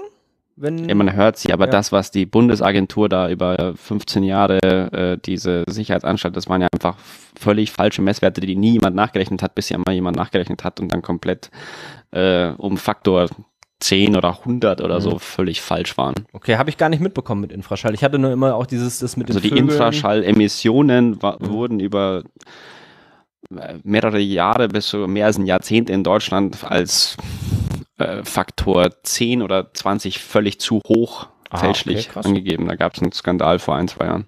Äh, falls du eine Quelle hast, pack die mal hier rein, weil das war mir jetzt gar nicht bewusst, aber auch interessant, ja. Hm, spannend. Ja, anyhow, auf jeden Fall ähm, gibt es ja auch da so Debatten über die Vögel, die da sterben, wo man dann auch mal Vergleiche gemacht hat, wie viele Vögel denn durch verschiedenste Sachen sterben und wo es halt die Windkraftanlagen sogar unterrepräsentiert sind, ja. Ähm, und du hast dann halt auch so Sachen wie Offshore, äh, dass da dann Umweltauswirkungen sind. Ich denke, wir müssen uns halt einfach darauf einigen, wenn wir agieren als Menschheit, was wir tun und wenn wir wirtschaften wollen, wenn wir halt einen gewissen Wohlstand auch haben wollen, dann haben wir einfach auch Kosten dafür. Und diese Kosten sind halt nicht nur monetär, sondern wir haben einfach auch Umweltkosten. Wenn wir Rohstoffe abbauen, werden wir immer in irgendeiner Form Eingriffe in der Umwelt vornehmen müssen. Und dann ist nur die Frage, sind wir eben bereit, diese Eingriffe zu tragen? Und ich persönlich bin da halt einfach der Meinung, ich kann nicht sagen, ich möchte diese Eingriffe tragen, aber nicht bei mir in Not in my backyard. Das geht halt nicht. Ja. Entweder du sagst, ja, ist okay, und dann auch okay, wenn das jetzt in meiner, in Anführungsstrichen, in meiner direkten Nachbarschaft stattfindet. Oder aber ich sage halt, nee, ist nicht okay. Ja, also das ist halt, äh, finde ich so ein bisschen, also ja, ich will jetzt auch nicht unbedingt eine, eine Open Pit Mine in meinem, in meinem Hinterhof haben, klar, ja. Aber ähm, irgendwo muss man da auch ein bisschen das dann akzeptieren können, dass dann halt einfach äh, einen Tod man sterben muss und entweder du hast halt ein Kohlekraftwerk im Garten sitzen oder halt eine Windkraftanlage und da weiß ich definitiv, dass ich mich für die Windkraftanlage entscheide. Auch wenn man da vielleicht einen Wurfschatten hat, den sieht man halt direkt bei dem Kohle an, äh, Kohlekraftwerk äh, sieht man halt die Krebsauswirkungen dann erst ein paar Jahre später. Aber darum soll es ja eigentlich gar nicht gehen. Wir haben jetzt einen ziemlichen Exkurs gemacht. Es sollte ja eigentlich jetzt gehen um dieses Whataboutism, dass Elektroautos äh, ja viel mehr CO2 emittieren als die äh, äh, ICEs, also die Internal Combustion Engines, also die Verbrenner. Und äh, dass das insbesondere daran liegt, dass in der Produktion dieser Elektroautos ja massiv viel Emissionen anfallen und die super schlecht für die Umwelt Logo. sind. Ja, ja.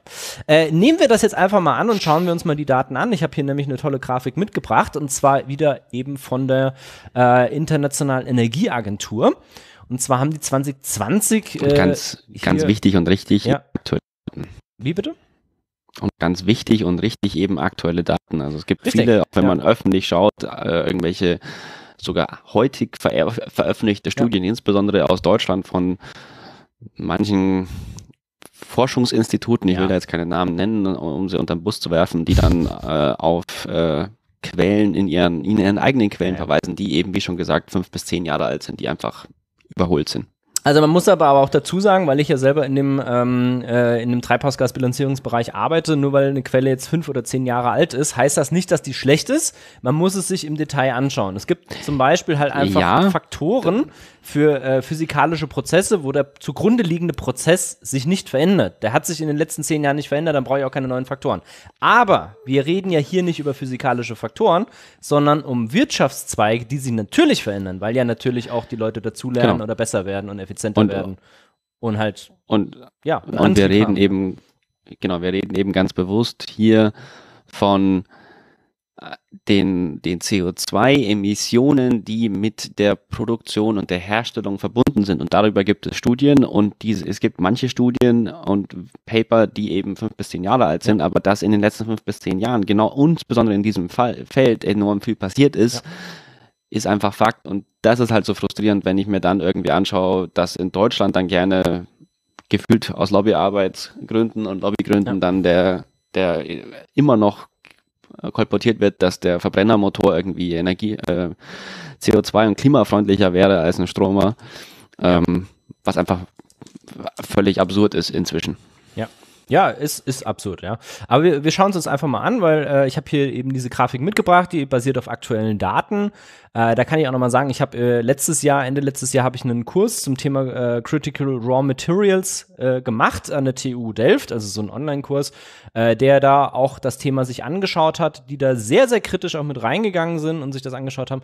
Und äh, man hat, wenn du ein Elektroauto neu vom Band kaufst und wenn du einen äh, Verbrenner neu vom Band kaufst, äh, dann hast du hier wirklich erstmal den Effekt, dass das Elektroauto dann höhere Emissionen hat. Bei null Kilometer, ja. Nur, du hast, also die Haupt, ja, es ist ja klar. Also wenn du es ins Museum stellen willst, dann solltest du dir einen Verbrenner kaufen. Ja, genau, wenn du nur irgendwo hinstellen willst, genau. Ja, aber das ist halt äh, der Fall, ja, bei einem Verbrenner, da fallen halt die Emissionen während der Nutzung an und beim Elektroauto halt vor allen Dingen bei der Produktion, wobei man selbst da schauen muss, dass die nicht wirklich viel höher sind. Also ihr seht hier dann so einen Balkenchart von den Lifecycle Greenhouse Gas Emissions, ja. Packen wir auch mal in die Show Notes rein mhm. und dann seht ihr das da, ja. Und äh, es gibt so eine Grenze, die sich aber seit Jahren immer weiter absenkt und gerade ist es, also in einem Worst-Case-Szenario, in einem Worst-Case-Szenario ist ein Elektroauto äh, bei 30.000 gefahrenen Kilometern hat es dann eine bessere äh, Treibhausgasbilanz als ein Verbrenner. Ab 30.000 genau, Kilometer. Und, und, und auf die genau, Lebenszeit gesehen. Nicht pro Jahr oder sowas, sondern auf die genau. gesamte genau. Lebenszeit gesehen. Genau, und das ist der Punkt, wo, wenn ihr anfangt, in deutschsprachigen Online-Portalen, Medien etc. zu suchen, dass da dann gerne 80.000, 120.000 Kilometer oder so gerne genannt werden. Da gibt es einen, auch einen netten, netten Debunk. Ähm, zwei Punkte sind da enorm wichtig, wenn man da anfängt zu recherchieren. Das eine ist zu verstehen, oder sogar drei vielleicht, das eine ist zu verstehen, dass die Daten für die Batterieherstellung, dass die aktuell sind, nicht von 2014 ja. sind, weil seit, da hat sich seitdem sehr viel ja. getan. Das zweite ist, ähm, es wird gerne ähm, angenommen, dass die Stromerzeugung zu fast 100% aus Kohle ist oder zumindest im aktuellen Mix, wobei sich der Mix der Stromerzeugung in den Ländern ja auch verbessert und ja. äh, vergrünt. Und das ist etwas, was ich mit einem Benziner eigentlich nicht haben kann, außer ich hätte irgendwie E-Fuels, die überhaupt einfach ein Pipe Dream sind aus meiner Sicht. Ähm, also, das heißt, wir, wir, wir, sehen, wir, wir sehen sehr einfach, dass die Emissionen sich über die Lebenszeit auch verringern können, aber was da noch nicht mal eingepreist werden muss, um zu diesem Ergebnis zu kommen. Und das dritte Wichtige ist, dass in diesen Vergleichen gerne ähm, die, der Verbrauch der Benziner und der Verbrenner über den WLTP-Zyklus angenommen wird. Wenn ich aber den WLTP-Zyklus, das ist dieser Testzyklus, äh, der immer noch besser ist als der NEDC-Zyklus ist, aber immer noch ziemlich scheiße ist, oder auch warum verbraucht mein Auto im realen Leben irgendwie zwei Liter mehr, als es laut Testzyklus, laut Sticker braucht, dass die, dass ich statt dieses WLTP-Flotten-Averages oder Durchschnitts stattdessen eigentlich den real gemessenen ja äh, Durchschnitt mir anschauen sollte. Und wenn ich das dann tue und das alles zusammenwerfe, dann stelle ich sehr schnell fest, dass, ähm, wie du sagst, im Worst Case wir bei ungefähr 30.000 Kilometern sind. Ja. Das heißt, wenn ich dieses Ding mehr als 30.000 Kilometer gefahren bin, bin ich danach mehr oder minder automatisch grüner als ähm, oder CO2 ja. CO2-Emissions geringer als mit einem Benziner. Ja. Und was man hier auch äh, berücksichtigen muss, ist, äh, wie du das gesagt hast, wir bauen unser Energienetz, also unser Stromnetz ja gerade um auf erneuerbar. Das heißt, es wird in den nächsten Jahren vermutlich mehr erneuerbare Energien geben. Äh, dadurch wird dann auch hier die äh, CO2-Intensität von dem Strom, den ich ja verfahre, sinken bei den, ähm, bei den äh, ja, äh, Diesel und, und anderen äh, fossilen Kraftstoffen ist das genau andersrum. Dadurch, dass wir hier mittlerweile, was die Motoren angeht, schon sehr effizient sind, also davon mal abgesehen, ich habe ja einen Motor eingebaut, der wird ja jetzt nicht auf einmal effizienter normal, ja, außer du hast irgendwie ein Software-Update, aber das, das ist eigentlich durch. Nur was wir hier als Problem haben, ist, wir haben ja auch bei der Förderung von diesen äh, Öl und Gas, äh, vor allen Dingen Öl in dem Fall, haben wir ja auch Emissionen. Und umso genau. aufwendiger diese Förderung ist, ja, also es ist ein Unterschied, ob ich in Texas, wie 1800 oder wann auch immer da die ersten Ölfelder ersch äh, erschlossen wurden, ja, ob ich da praktisch einen oberflächlichen See habe, aus dem ich das ab pumpen kann, ja, wo ich einfach nur mein Rohr reinhänge und dann eine Pumpe dranhänge. Äh, das ist ein großer Unterschied im Vergleich zu irgendwelchen Offshore-Drilling-Plattformen, die irgendwo im Golf von Mexiko in tausenden Metern Tiefe irgendwas äh, fördern. Ich weiß jetzt nicht, ob das im Golf von Mexiko so tief ist. Ich weiß aber, dass es in anderen Bereichen halt sehr, sehr tief gefördert wird, wo du halt einfach sagen musst, das ist halt eine ganz andere, ein ganz anderes Level. Und da ist halt zu erwarten, dadurch, dass wir halt die einfachen Vorkommen mittlerweile alle abgeschöpft haben, dass sich hier bei der Produktion dieser Kraftstoffe äh, die CO2-Intensität steigt. Ja, und bei nicht nur da, sondern ja. auch, also Förderung ist das eine, dass ich dem, das Zeug aus dem ja. Boden hole, aber die Raffinierung genau. benötigt auch extrem viel Energie und produziert CO2-Emissionen und ähm, ich wollte noch äh, schelmisch sagen, Software-Updates gibt es zwar immer noch, aber die führen in der Regel eher dazu, dass äh, Abschalteinrichtungen ausgeschaltet werden und dann der, Stru der Spritverbrauch eher noch steigt. Ja gut, gibt ja auch sowas irgendwie, dass dein Motorsoftware effizienter wird oder sowas, aber ich glaube, das, das, äh, das, das ist durch. Also da sind wir schon relativ nah an einem Optimum, ja. Es gibt ja immer so Aussagen, dass die, äh, bevor eine neue Technologie eingeführt wird, die alte Technologie dann nochmal richtige Sprünge macht und das äh, sehen wir wahrscheinlich auch, aber die sind nicht mehr so gigantisch, als dass die neue Technologie dann nicht immer noch besser wäre in dem Fall. Wobei man fairerweise auch dazu sagen muss, umso mehr Lithium wir fördern, ja, da hat man das gleiche Problem ja. ja. Die, die äh, guten Lagerstätten sind irgendwann aufgebraucht und irgendwann wird man dann auch weniger gute eben verwenden, wo man dann mehr Energie aufwenden muss, um dort das Lithium rauszugewinnen. Man muss mehr Aufwand betreiben und hat dann hier auch höhere CO2-Emissionen. Jetzt schauen wir uns aber mal die CO2-Emissionen an.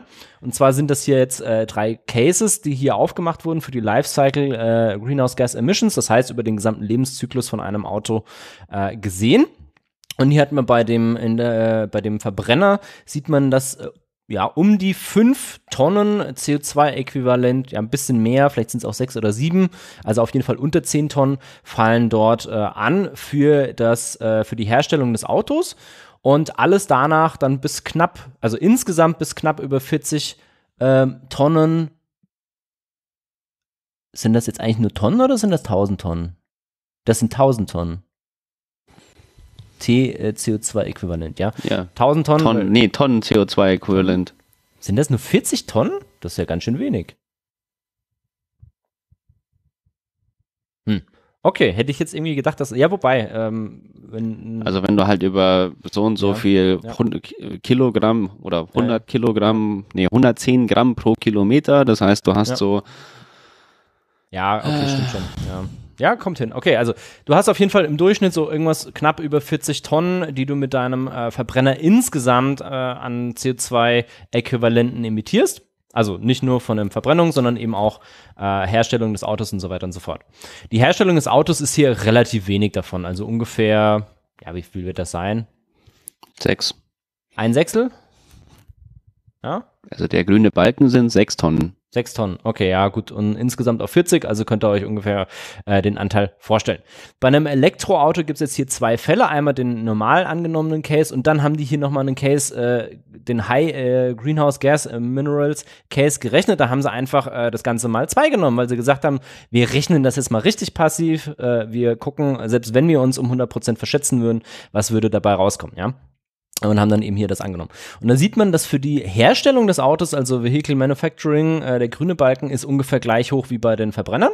Dann haben wir hier nochmal ähm, ja, für das Thema der Förderung der Batteriematerialien ein paar ähm, Tonnen oder ein bisschen was. Und dann haben wir hier nochmal für den Zusammenbau und die Fertigung der Batterien Emissionen und dann halt im, ähm, in dem äh, Lebenszyklus für die verwendeten Strom hier auch nochmal Emissionen.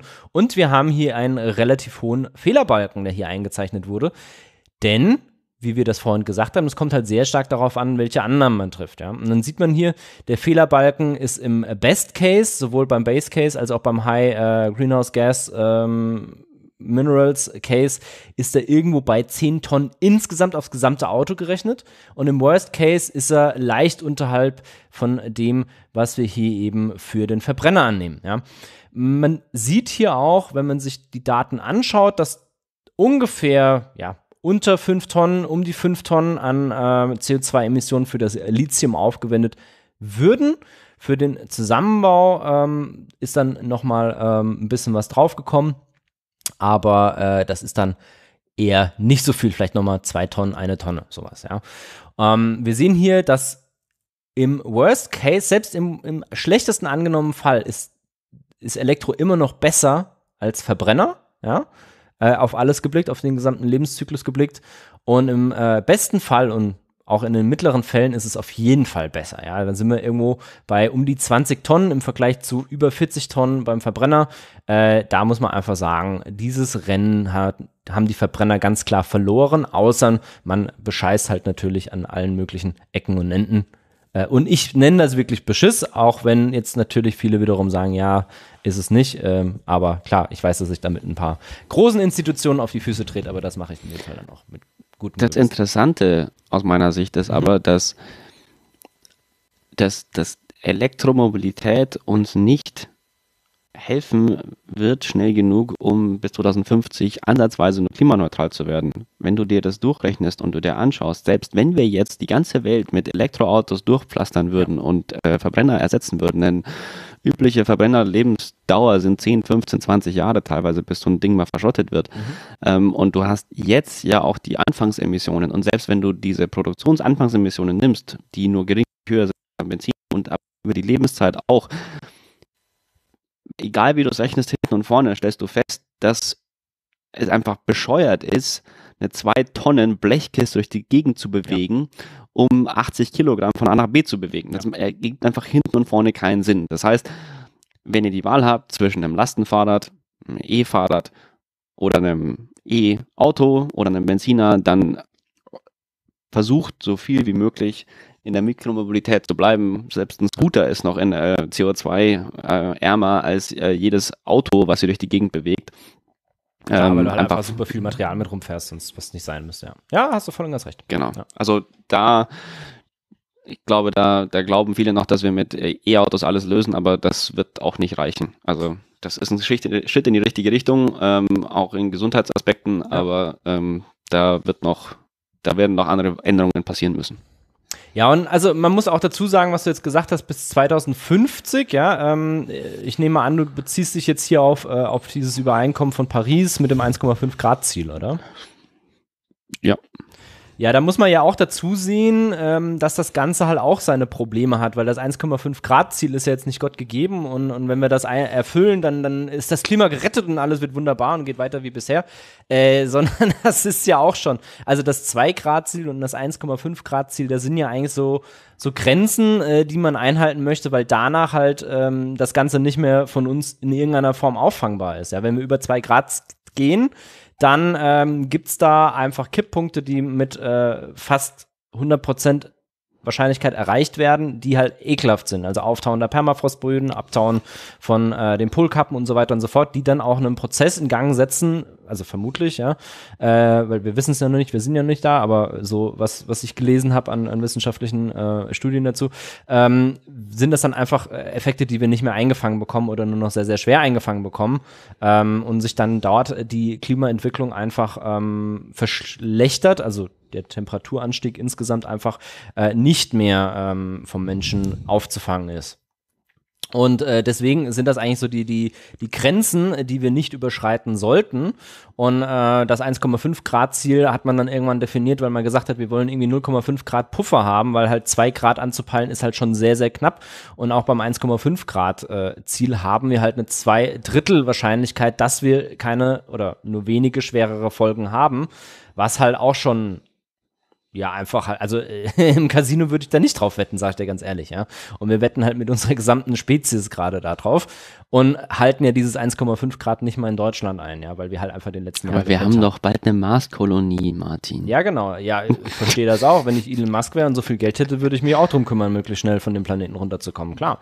Ähm, also, ne, kann man so sehen. Ähm, aber ne, äh, nochmal dahingestellt. Ich glaube, es wird besser. Es also ich meine, wenn ich vergleiche mit vor fünf Jahren, ja, wo okay, sich irgendwie noch niemand halt irgendwie ernsthaft ums Thema bemüht hat. Ja. Ich meine, mit Kyoto und äh, was wir davor hatten, ähm, das war mehr Feigenblatt, jetzt wird es weniger Feigenblatt. Und ich meine, das Wichtige da zu verstehen, glaube ich, ist immer, die Politik arbeitet auch, wie du selbst vorher auch angemerkt hast, sie sollte nicht jetzt irgendwelche Wetten eingehen, ja. dass Technologien kommen, aber die Modelle, die sie im Moment benutzen für Technologien und für Kosten und für die Beratung, wenn man sich anschaut, dass sie häufig aus der Petro-Ecke mhm. kommt, ja. sind einfach so ultrakonservativ, dass sie nicht mehr mehr konservativ sind, sondern unglaubwürdig. Also wenn ja. ich seit zehn Jahren sehe, dass jedes Jahr Solarzellenpreise äh, massiv sinken und es vorhersagbar ist äh, und ähm, auch jetzt nicht direkt absehbar ist, warum es nicht mehr so sein sollte und du dann annimmst, dass jetzt auf einmal alle Preisverfälle auf einmal aufhören mhm. in Solar und Wind und Batterien und alles gleich bleibt. Das sind auch nicht unbedingt realistische Modelle. Ähm, von daher, ich glaube, da ist mal irgendwo ein Mittelweg und die Politik äh, gibt dann neue Ziele aus. Auf der Basis äh, gibt es Förderprogramme, gibt es Industrie, gibt es Wirtschaft, die nachkommt und dann haben wir nach fünf Jahren später neu ermöglichte Politik, damit halt auch die Gesellschaft das dann auch für glaubwürdig hält, weil es die, der Rest der Gesellschaft ist nicht unbedingt der oder die ambitionierte Startup-Gründerinnen und Gründer, die, die das umsetzen wollen, sondern die wollen sehen, dass es möglich erscheint. Und anyway. Habe ich drei Punkte dazu. Und zwar äh, mhm. Nummer eins, ich sehe nicht, dass es ein Mittelweg ist, sondern ich sehe, dass es ein sehr extremer Weg ist, äh, der in der Wahrnehmung mit, als Mittelweg definiert wird, weil die anderen Szenarien halt noch viel extremer sind. Äh, beim 1,5 Grad Ziel, das wir bis 2000 äh, äh, bis äh, 2100 erreichen wollen, da rechnen wir ja jetzt schon rein, dass wir Negativemissionen haben, die wir effektiv halt in einem großen Maßstab bisher nicht haben, ja. Ähm, zumindest nicht äh, auf technischer Ebene. Ähm, wir haben ein CO2-Budget, also Tonnenbudget, das äh, mal definiert wurde. Das sind die sogenannten Science-Based Targets. Äh, und dort steht ganz genau drin, wie viel wir emittieren dürfen. Und da haben wir noch ungefähr sieben Jahre Zeit, bis wir dieses Budget ausgeschöpft haben. Danach ist es absolut notwendig, dass wir das, was wir danach dann emittieren, auf jeden Fall wieder zurückholen, ja, ähm, durch eben Negativemissionen. Und Negativemissionen ist nicht, ich kaufe mir irgendwo ein Zertifikat und pflanze davon Bäumchen oder, oder irgendwelche Kochöfen, sondern diese Zertifikate, ähm, da muss man ja auch dazu sehen, Fre der freiwillige Markt funktioniert so, dass ich mit meinem Geld Maßnahmen irgendwo sonst auf der Welt ermögliche, die CO2 einsparen die jetzt aber nicht zwangsläufig CO2 dauerhaft binden oder aus der Atmosphäre zurückholen. Bei Bäumen kann man jetzt nochmal drüber reden, aber das ist auch nochmal so eine shady Geschichte mit dem Read, ähm, weil das dann meistens auch nur für so sieben oder acht Jahre ist. Hast ja auch wieder dann Brand mit dabei, da gibt es ja ganz viele Standards und sowas, habe ich mich auch mal sehr intensiv damit auseinandergesetzt. Äh, kann ich auch vielleicht dann auch mal bald nochmal was dazu sagen, weil ich dann in der Arbeit nochmal an manchen Stellen damit zu tun habe. Ja, auf jeden Fall, was ich hier als, als für mich sehr beängstigend wahrnehme, ist, wir wetten aktuell mit unserem aktuellen Case, mit dem 1,5 Grad Ziel schon auf Dinge. Und nicht mehr das erreichen wir ja. Nicht mehr das äh, ist im, aktuell im Plan, dass wir es erreichen. Ähm, und, und, das finde ich schon ähm, beängstigend. Und wie du gesagt hast, ja, ähm, wir müssten EV viel schneller umsetzen, dann hätten wir mal einen Teil, aber das alleine macht es nicht. Dann müssten wir die erneuerbaren Energien massiv ausbauen, aber das allein bringt es ja auch noch nicht. Und dann hätten wir noch ganz viele, also wir haben super viele Sachen, die wir eigentlich machen müssten und es wird halt auf einfach so vielen Ebenen gerade gebremst, ähm, dass ich da einfach, ich sehe schwarz, das sage ich dir ganz ehrlich. Und dann, dann geht ja der nächste Punkt los. Äh, ich habe ja meinen Ressourcen- und Rohstofffokus und äh, sehe da einfach, dass die, äh, die, die äh, ähm, internationale Energieagentur hat mal durchgerechnet, wie viele Rohstoffe wir denn brauchen. Das habe ich ja vorhin gesagt, für 40-fachung vom Lithiumabbau. Wir haben aber auch beim Kupferabbau und verschiedenen anderen Technologien, die halt wichtig sind für erneuerbare Energien, haben wir halt so einen Rohstoffhunger. Und was machen wir? Wir pumpen das erstmal in in Anführungsstrichen Brückentechnologien wie Erdgas und, und äh, Atom, ja. Weil so ein Atommeiler, bis der an den Start geht und man einen Effekt, hat, ja. Und vor allen Dingen bei einem Atommeiler ist ja da genau das Gleiche, was wir den EVs vorwerfen.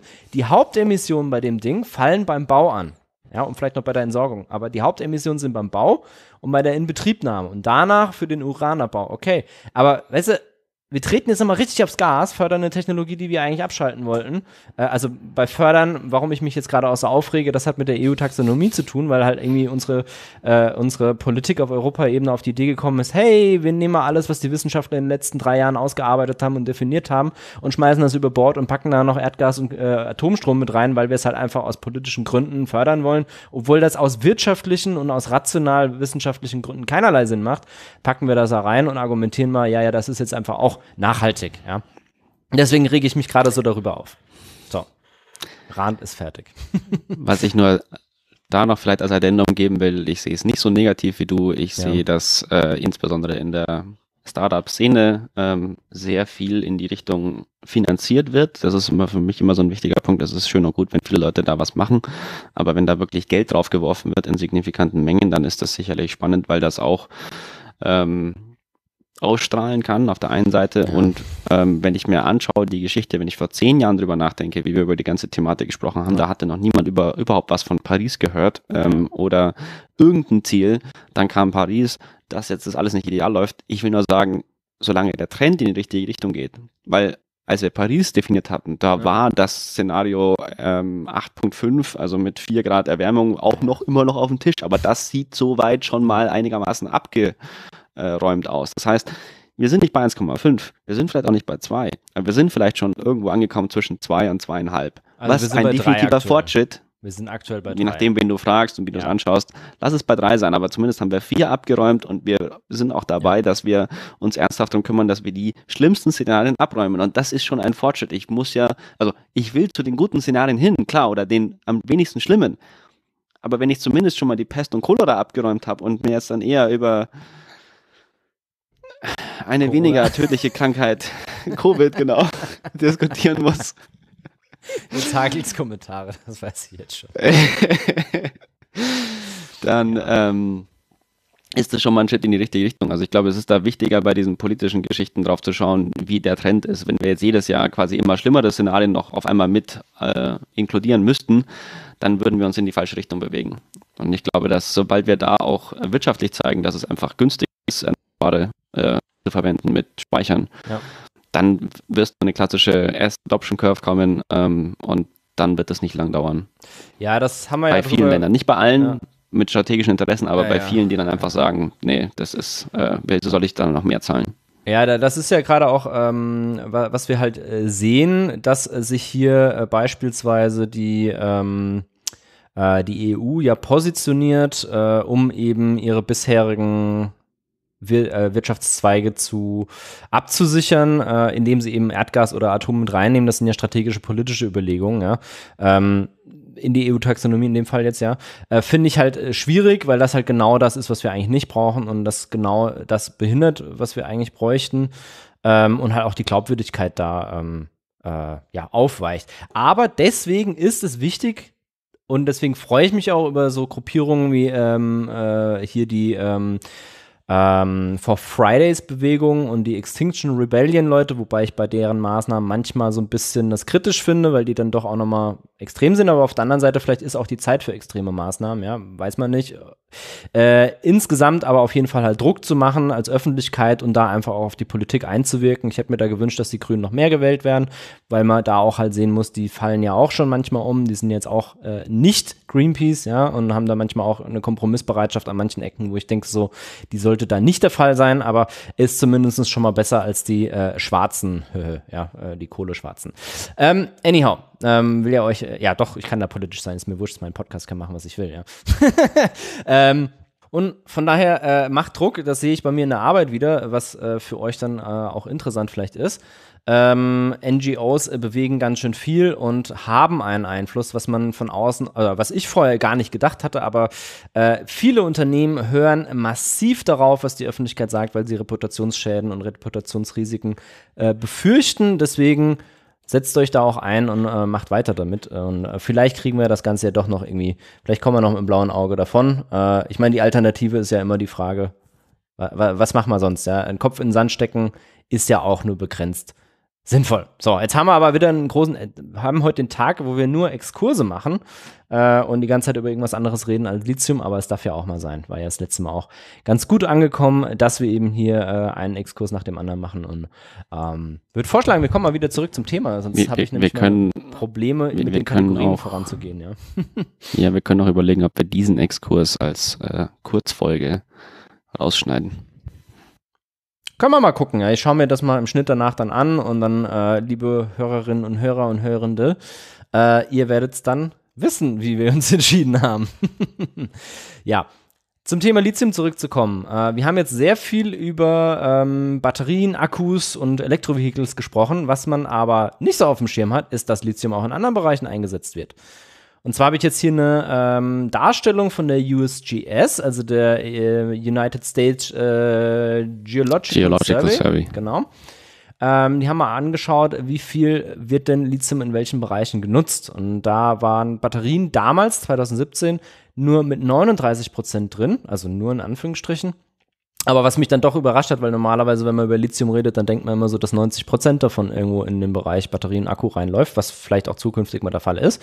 Aber es gibt ja auch noch andere Bereiche, unter anderem den großen Bereich mit 30 Prozent in der Glas- und Keramikherstellung oder aber die Schmiermittelherstellung ähm, oder Schmiermittelverwendung mit 8 Prozent, äh, Strangguss, also ähm, alles, was in die Richtung ähm, ja, Metallverarbeitung dann auch nochmal angeht, mit 5%, Polymerherstellung mit 5%, Klimaanlagen mit 3%, wobei ich keinerlei Ahnung habe, wofür Lithium in Klimaanlagen eingesetzt wird, muss ich ganz ehrlich gestehen. Und dann gibt es nochmal den Teil von Sonstiges mit 10%. Ja. Ähm, Im Schmiermittelbereich äh, ist auch die älteste oder eine der ältesten Einsatzzwecke für äh, Lithium. Und zwar wurde im Zweiten Weltkrieg das erste Mal größerer Einsatz von Schmiermitteln mit äh, Lithiumanteil nötig. Denn man hat hier dann angefangen, ähm, in der Luftfahrt Flugzeuge zu bauen, die einfach höhere Temperaturen haben. Ja, unter anderem dann eben auch die ersten äh, Jet-Triebwerke und eben hier auch Triebwerke, die einfach höhere Temperaturen haben, weil dann kann man halt einfach schneller und besser damit äh, fliegen. Und ähm, die damaligen Schmiermittel hatten das Problem, naja, ähm, ab einer gewissen Temperatur fangen die an zu rauchen oder zersetzen sich und funktionieren nicht mehr. Und wenn man da äh, Schmiermittel mit Lithiumanteil hat, dann sind die einfach hier ein bisschen temperaturresistenter. Ja. Davor hat man Lithium eigentlich nur im Labor eingesetzt ähm, für verschiedene Prozesse ähm, und da war es eigentlich relativ unwichtig. Das war dann der erste größere Einsatz davon. Später dann eben in dem äh, Atombombenprogramm der Amerikaner wurde das eingesetzt, um eben das Tritium daraus zu gewinnen. Und an dieser Stelle muss ich, muss ich wirklich einem unserer Hörer danken. Und zwar haben wir hier einen Kommentar zurückbekommen von einem Hörer, äh, mit, ich glaube sogar ein Hörer der ersten Stunde. Der hat nämlich hier mir eine Antwort geschickt auf die Frage, wie kann denn aus Lithium eigentlich Tritium gewonnen werden? Ja. Hast du es mittlerweile rausgefunden, Justin? Ich habe den Kommentar gesehen. Ja, also du hast, oh, okay, du hast einen Kommentar gesehen. Ja gut, ich versuche den Kommentar jetzt nebenher nochmal äh, rauszufinden. Und zwar ist das der äh, Schreini, der uns auf Twitter geschrieben hat. Ähm, die, die Erklärung war jetzt nicht ausführlich, aber ausreichend. Und zwar hatten wir das letzte Mal ja darüber gesprochen, da hatte ich ja gesagt, ja, Lithium wird zu Tritium. Und dann hat sie mich gefragt, ja, hä, wie, wie funktioniert das denn? Und da war ich so, hm, keine Ahnung. äh, jetzt wissen wir es. Und zwar äh, wird Tritium aus Lithium gewonnen durch einen äh, Prozess, der sich äh, Neutron Capture High nennt. Das ist eine Kernreaktion oder ein Kernreaktionsprozess. Äh, dabei wird ein ähm, ja, instabiles Lithium-Isotop, das durch ähm, ja, Alpha Zerfall dann in Tritium umgewandelt wird, äh, erzeugt. Und ähm, da gibt es dann eben spezielle äh, Reaktionen und Reaktoren dafür. Ähm, ich packe hier, glaube ich, mal das Bild. Von welcher Hip-Laser ist die Quelle? Ich packe die Quelle auch mal hier in die Show Notes rein. Wer sich da nochmal dafür interessiert, der kann sich das dann auch anschauen. Ja, fand ich aber sehr interessant, wie aus Lithium dann äh, Tritium gewonnen werden kann und fand das auch sehr schön äh, dass wir hier einen Hörerkommentar dazu hatten.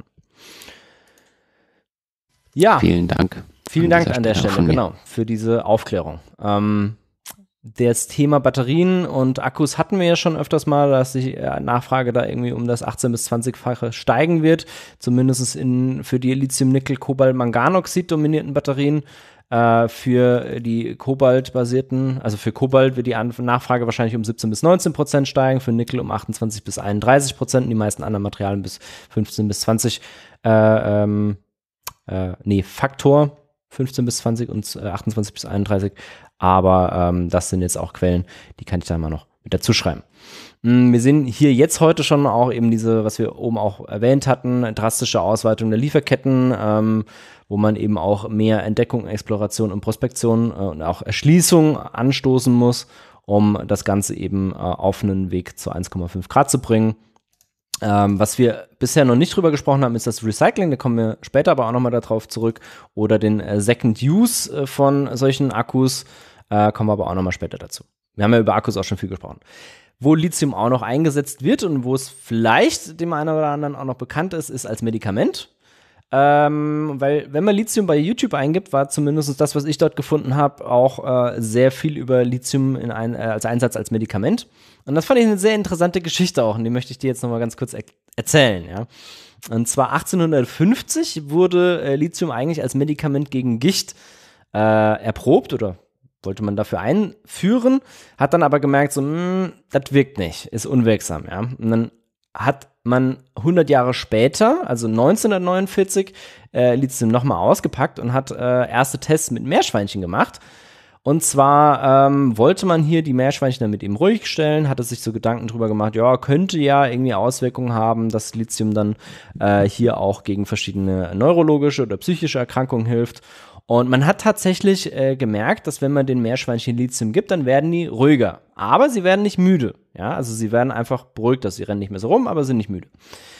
Ähm, man hat das 1949 entdeckt und, und äh, da erste äh, Tests dazu gemacht. 1952 gab es dann einen äh, Selbstversuch ähm, von Lithiumcarbonat als Medikament, äh, hat ein Forscher eingenommen, um eben ähm, ja die Möglichkeit zu untersuchen, ob man das als äh, Antidepressivum einsetzen kann. Äh, das hat das dann, wird es übrigens auch heute. Ja, wird es heute noch. Ja, ja, nicht vorweggreifen. Ne? 1952 bis 54 hat er sehr, sehr gute Ergebnisse. Äh, was hier ganz lustig ist, ist, dass diese Versuche von 1949 man später herausgefunden hat, äh, das war nicht die Wirkung von Lithium gegen irgendwelche Depressionen oder irgendwas, sondern die Meerschweinchen äh, haben sich ruhiger verhalten, weil die einfach krasse Vergiftungserscheinungen aufgewiesen haben. Ja, ähm, also die Meerschweinchen hatten hier nicht den Fall, dass das Medikament gewirkt hätte, sondern die waren einfach nur vergiftet und haben sich deswegen äh, ruhiger verhalten und waren aber nicht müde. Das hat man aber erst später entdeckt und trotzdem gab es hier eben einen äh, Forscher, der dann mal gesagt hat, so, oh, bei Meerschweinchen funktioniert das, ich hau mir das jetzt auch mal in den Arm, ja. Ähm, war so ein bisschen Glück im Unglück äh, oder Glück im Glück eigentlich eher sogar. Und zwar hat, äh, wurde dadurch dann entdeckt, dass man das Ganze eben bei manisch-depressiven Patienten einsetzen kann. Danach gab es dann auch eine Doppelblindstudie und äh, das war dann der Beginn der sogenannten Lithiumtherapie. 1990, äh, also ein paar Jährchen später, gab es dann hier auch ähm, Studien in den USA. Wir hatten ja vorhin gesagt, Lithium kommt auch im Trinkwasser vor oder im, im äh, Grundwasser vor, ja. Äh, ja, das hat natürlich auch eine Auswirkung auf den Körper. Und zwar kann man das nicht nur rausgewinnen für irgendwelche Elektroakkus oder sowas, sondern ähm, man hat dort dann einfach äh, Regionen, also in den USA hat man das damals äh, entdeckt oder untersucht ähm, in Studien. Und zwar gibt es ja Regionen, in denen ist mehr Lithium im Grundwasser und es gibt Regionen, da ist weniger drin. Und das hat man eben gesehen, so, hm, in Regionen, die eine höhere Lithiumkonzentration im Trinkwasser haben, sinkt auf einmal die Zahl von Straftaten und Suiziden. Warum ist das bloß der Fall? So, ja, wenn man jetzt ein Medikament hat, das gegen manisch-depressive Patienten wirkt und einfach äh, bei Depressionen eingesetzt wird und man verpasst der gesamten Bevölkerung ähm, ja doch ein bisschen Lithium übers Trinkwasser. Äh, welch ein Wunder, dass auf einmal das Auswirkungen hat, dass die Straftaten runtergehen und die Suizide sinken, wenn die Leute weniger depressiv sind als vorher. Aber das ist jetzt natürlich nur Wobei eine Hypothese. Weil ich da auch ja. vorsichtig wäre, weil man auch in den USA gesehen hat, dass äh, es eine sehr starke Korrelation gab zwischen dem, der Einführung von gebleitem Benzin und der Kriminalitätsrate und einem sukzessiven Abfall der Kriminalitätsrate unabhängig davon, ob du jetzt Hard on Crime oder Easy on Crime etc. bist und einem sinkenden Anteil von Blei bis der Abschaffung von verbleitem Benzin. Also dieser Zusammenhang, also man muss da ja immer unterscheiden zwischen Korrelation und Kausalität. Bei verbleitem Benzin ist eine Kausalität mittlerweile nachgewiesen worden. Also äh, Bleiemission, also weil du verbrennst das ja, packst das in die Umluft, dann nimmst du das auf, wenn du einatmest. Dort hat man mittlerweile herausgefunden, dass äh, Bleikonzentration in, äh, im Blut der Patienten und insgesamt in organischer äh, oder der Menschen äh, oder in den Organen der Menschen äh, zurückgegangen sind, die Konzentrationen davon, und dass eben ein äh, kausaler Zusammenhang zwischen Aufnahmen von Blei und ähm, Bereitschaft zur Aggressivität äh, nachgewiesen wurde. Also da ich weiß jetzt nicht, die Studie kann natürlich auch falsch sein, aber da sehe ich schon, dass es äh, eine Kausalität hat und ähm, das ist nicht nur in Amerika so gewesen, sondern das konnte man auch in anderen äh, Gebieten der Welt äh, nachweisen. Und da gibt es ein sehr, sehr gutes Buch oder einen sehr guten Podcast auch äh, von einem Journalisten, glaube ich, ist das Freakonomics, äh, der betrachtet das auch, weil der sich eben auch mit diesem Thema Korrelation und Kausalität ähm, auseinandersetzt. Aber klar, hier kann es auch nur eine Korrelation sein und keine äh, Kausalität. Ja. Ähm, wer jetzt auf die Idee kommt, hey, ja, Lithium ist geil, dann werde ich weniger depressiv. Nein, bitte, bitte, bitte leckt nicht an euren Lithium-Akkus. Ganz dumme Idee, auf gar keinen Fall machen. Denn einmal ist es immer eine dumme Idee, an irgendwelchen Elektrobauteilen zu lecken und auf der anderen Vor Seite. allen Dingen, weil Lithium-Ionen-Akkus mit Wasser in die Luft fliegen richtig, würden. ja. Äh, und es ist auch so, dass äh, zu hohe Konzentrationen von Lithium äh, unter Umständen einfach lebensgefährlich sein können. Denkt an die Meerschweinchen, die waren damals auch vergiftet. Deswegen, auch wenn ihr eine Lithiumtherapie macht, äh, gibt es hier normalerweise ein klares Monitoring und das ist auch erforderlich, um einfach hier die Konzentrationen zu überwachen und einfach zu gucken, dass ihr richtig eingestellt seid. Ähm, was man da auch dazu wissen muss, die Wirkungsweise von Lithium als äh, Psychopharmakon ist noch nicht so ganz verstanden. Also man weiß, dass es irgendwie wirkt, aber wie es wirkt, hat man, glaube ich, nicht so genau nach rausgefunden. Ähm, man versucht hier aber, soweit ich weiß, ähm, das so zu fahren, dass man so viel Lithium wie nötig gibt, aber so wenig wie möglich, einfach um hier ähm, ja, die potenzielle Belastung auch ähm, gering zu halten. Ja. Ähm, es gibt also 2011 war das eine Studie, aber weiß ich jetzt auch wieder nicht, inwieweit die jetzt vertrauenswürdig ist. Gab es nochmal eine Studie zum äh, möglichen Zusammenhang zwischen dem Gehalt von Lithium in der Umwelt und höherer Lebenserwartung, ja.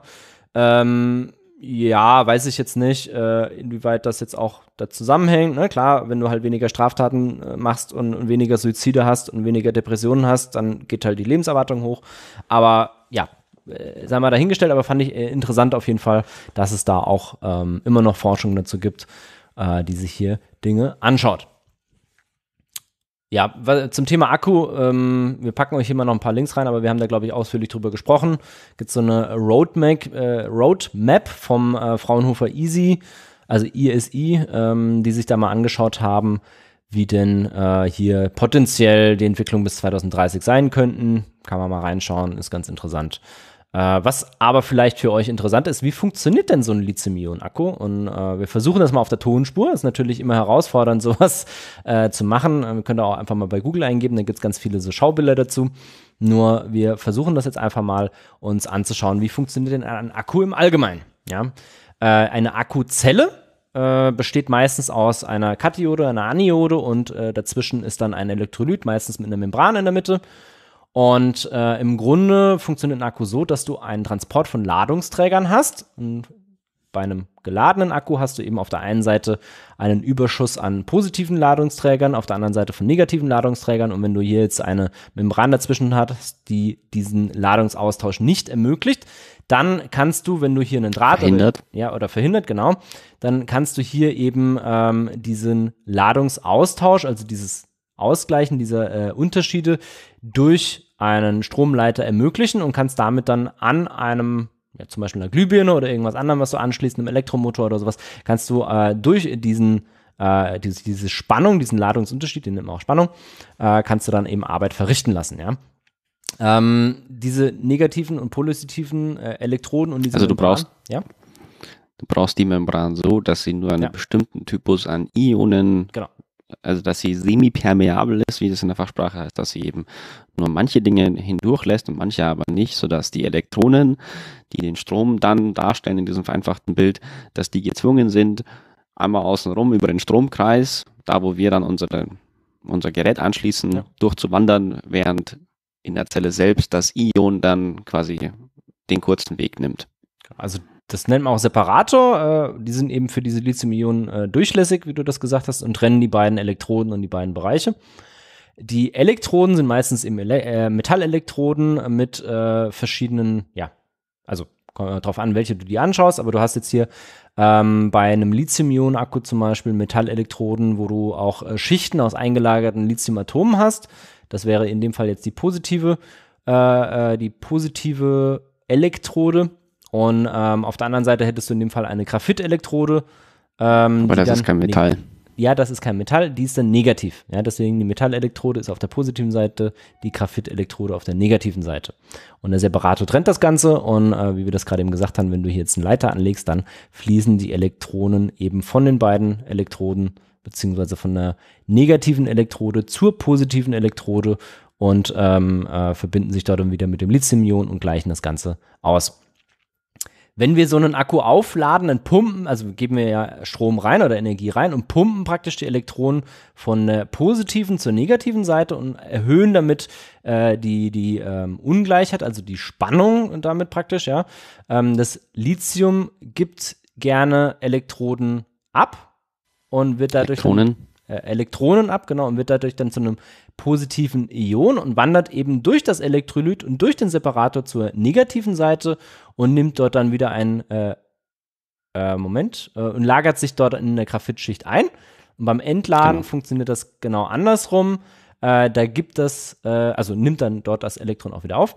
Beim Entladen funktioniert das genau andersrum. Äh, da gibt es eben ein Elektron an der negativen Seite ab. Das Elektron fließt eben durch den Leiter, das dann positive Lithium-Ion wandert durch, ähm, äh, durch unser Elektrolyt und durch die äh, Membran durch, rüber zur äh, positiven Kathode. Seite, genau, zur Elektrode, nimmt dort dann auch wieder das, Elektro, äh, das äh, Elektron an, das durch den Leiter geflossen ist. Und ähm, ja, genau. Und gleich dann dort eben auch wieder die auf der, ähm, äh, auf der positiven Elektrode wartenden ähm, Elektronen nimmt es eben auf und ähm, gleicht das dann dadurch wieder aus.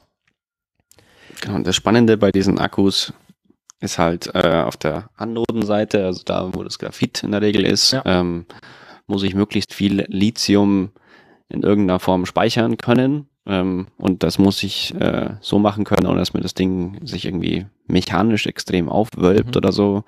Ähm, und je mehr Lithium ich dort speichern kann, umso mehr äh, Energie kann ich ja. speichern am Ende des Tages. Klar, ja, genau. Jetzt ein gutes YouTube-Video dazu, pack mal hier auch mal in die Show Notes rein, könnt ihr auch noch mal reingucken. Hm, vielleicht so ein bisschen, um eine Vergleichbarkeit ähm, herzustellen. Äh, Benzin besitzt eine Energiedichte auf den Liter gesehen von ungefähr 9000 äh, Wattstunden. Also hätte man da eine Energiedichte von 0,72 bis 0,78 Kilogramm pro Liter. Äh, eine Dichte. Ja, also so schwer ist das dann pro Liter. Ähm, wenn wir jetzt einen, weil Benzin wird ja in Litern gemessen, ja. Äh, wenn wir jetzt einen 50-Liter-Tank haben, dann haben wir da ungefähr äh, 450.000 Kilowattstunden an Energie. 450 Kilowattstunden? Äh, genau, ja. Ja, stimmt. ja, klar, ist natürlich einfacher, ja. Und äh, ungefähr irgendwas um die 39 Kilogramm Gewicht. Also Benzin ist ein bisschen leichter als Wasser, ja. Deswegen schwimmt es ja auch oben. Und ähm, wenn wir das Ganze jetzt mal ähm, uns anders anschauen, also wenn wir jetzt so einen äh, Lithium-Eisen-Phosphatoxid-Akku anschauen oder äh, Lithium-Eisen-Phosphoroxid ähm, 4, da würden wir. Phosphat. Was? Wie bitte? Lithium-Nickel-Phosphat würde ich mal schätzen, ist das dann. Äh, Lithium-Eisenphosphat müsste das eigentlich sein. Ah, nee, hier hinten haben wir dann auch mal. Na, Lithium. Äh, ja, ja, hast du recht. Äh, ich habe da nur einen Absatz vergessen. Und zwar, ähm, wenn wir hier ähm, eine, also da haben wir eine Energiedichte bei Lithium-Eisenphosphat und Lithium-Nickel-Phosphat, bei Lithium-Eisenphosphat von 555 äh, Wattstunden pro Kilogramm, bei äh, Lithium-Nickel Phosphat. Phosphatoxid haben wir eine von 870 äh, Wattstunden, ähm, um eben hier diese 39 Kilogramm Benzin äh, zu ersetzen. Äh, müssten wir dementsprechend dann äh, in einem einen Fall 810 Kilogramm an Akku mit rumfahren und an dem anderen Fall 517 Kilogramm an Akku. Also doch bedeutend mehr, aber da muss man auch wieder dazu sehen, dass es natürlich auch alles nochmal äh, nur die Energiedichte in dem Fall jetzt ist. Ja, man hat ja nochmal auch Verluste, wenn also man. Also eine 20 mal höhere Energiedichte. Also genau. was, da muss man sich mal bewusst machen, wie in, in äh, unter den Computer-Nerds würde man sagen, wie imbar äh, eigentlich äh, chemische Kraftstoffe sind. Also Richtig. da ist eine unglaublich hohe Energiedichte, ja. äh, die gut handhabbar ist, äh, die transportabel ist. Das sind äh, also wir, wir, haben als Menschheit irgendwie echt Schwein gehabt, dass wir die Dinger gefunden haben, ja. weil da ist so unglaublich viel Energie drin, das ist Wahnsinn. Ja, auf jeden Fall. Ähm, bei Bleiakkus sieht das Ganze dann nochmal ein bisschen äh, nochmal verrückter aus. Äh, ich glaube, da bräuchte man jetzt in Liter gesehen äh, 7860 Liter an Bleiakku, äh, um eben diese 50 Liter an äh, Benzin ähm, zu ersetzen.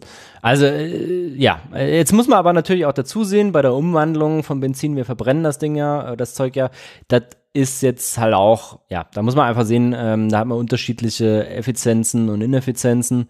Und, ähm, aber wir sehen, nicht ohne Grund haben wir damals auf äh, den Verbrenner gesetzt. Auch wenn das Elektroauto ja eigentlich früher entdeckt wurde, aber damit hast du einfach erstmal eine ja, Reichweite gehabt in der Vergangenheit, ja. Ja, weil die Batterietechnologie halt Anfang, der, Anfang des 20. Jahrhunderts nicht da war. Genau, und dann halt auch einfach begrenzt nur weiterentwickelt wurde. Aber ja, heute sind ja. wir ja an dem Punkt, dass wir halt auch sagen, so, ganz ehrlich, wie oft brauche ich denn diese krasse Reichweite, die ich durch die Benzintechnologie habe?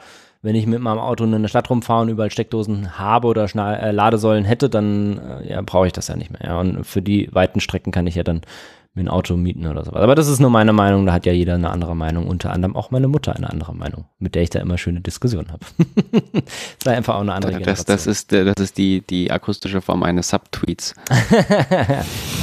nee, nee, das ist schon, ich verstehe das ja auch. Also ich verstehe ja auch die Leute, warum sie da ähm, Reichweitenangst haben oder sowas, ja. Es ist auch nicht überall einfach und dann hast du in München nicht genau. unbedingt eine Ladesäule und dann darfst du da nicht ewig stehen und da, da, muss, noch, da muss noch was passieren. Auf jeden Fall. Ja. Mm, ich packe hier mal noch ein paar Bilder, ein paar äh, Schaubilder rein und eben Tabellen, wo dann auch mal die Energiedichte eben gezeigt wird von Batterien im Vergleich zu Benzin, zu Wasserstoff, zu Stern Kernspaltung oder Kernfusion. Äh, denn Kernspaltung hat halt nochmal ein bisschen mehr Energiedichte, was ich dann ganz äh, witzig fand, das mal so ein bisschen ähm, zu vergleichen. Ähm, sind dann auch nochmal ähm, Vergleichsbilder drin, wie viel denn äh, an Batterien ähm, zum Benzinersatz da wären oder äh, wie das dann ausschaut. Und da wird dann auch nochmal in einem Schaubild die Funktion eines Akkus eben gezeigt, wo wandert äh, was hin.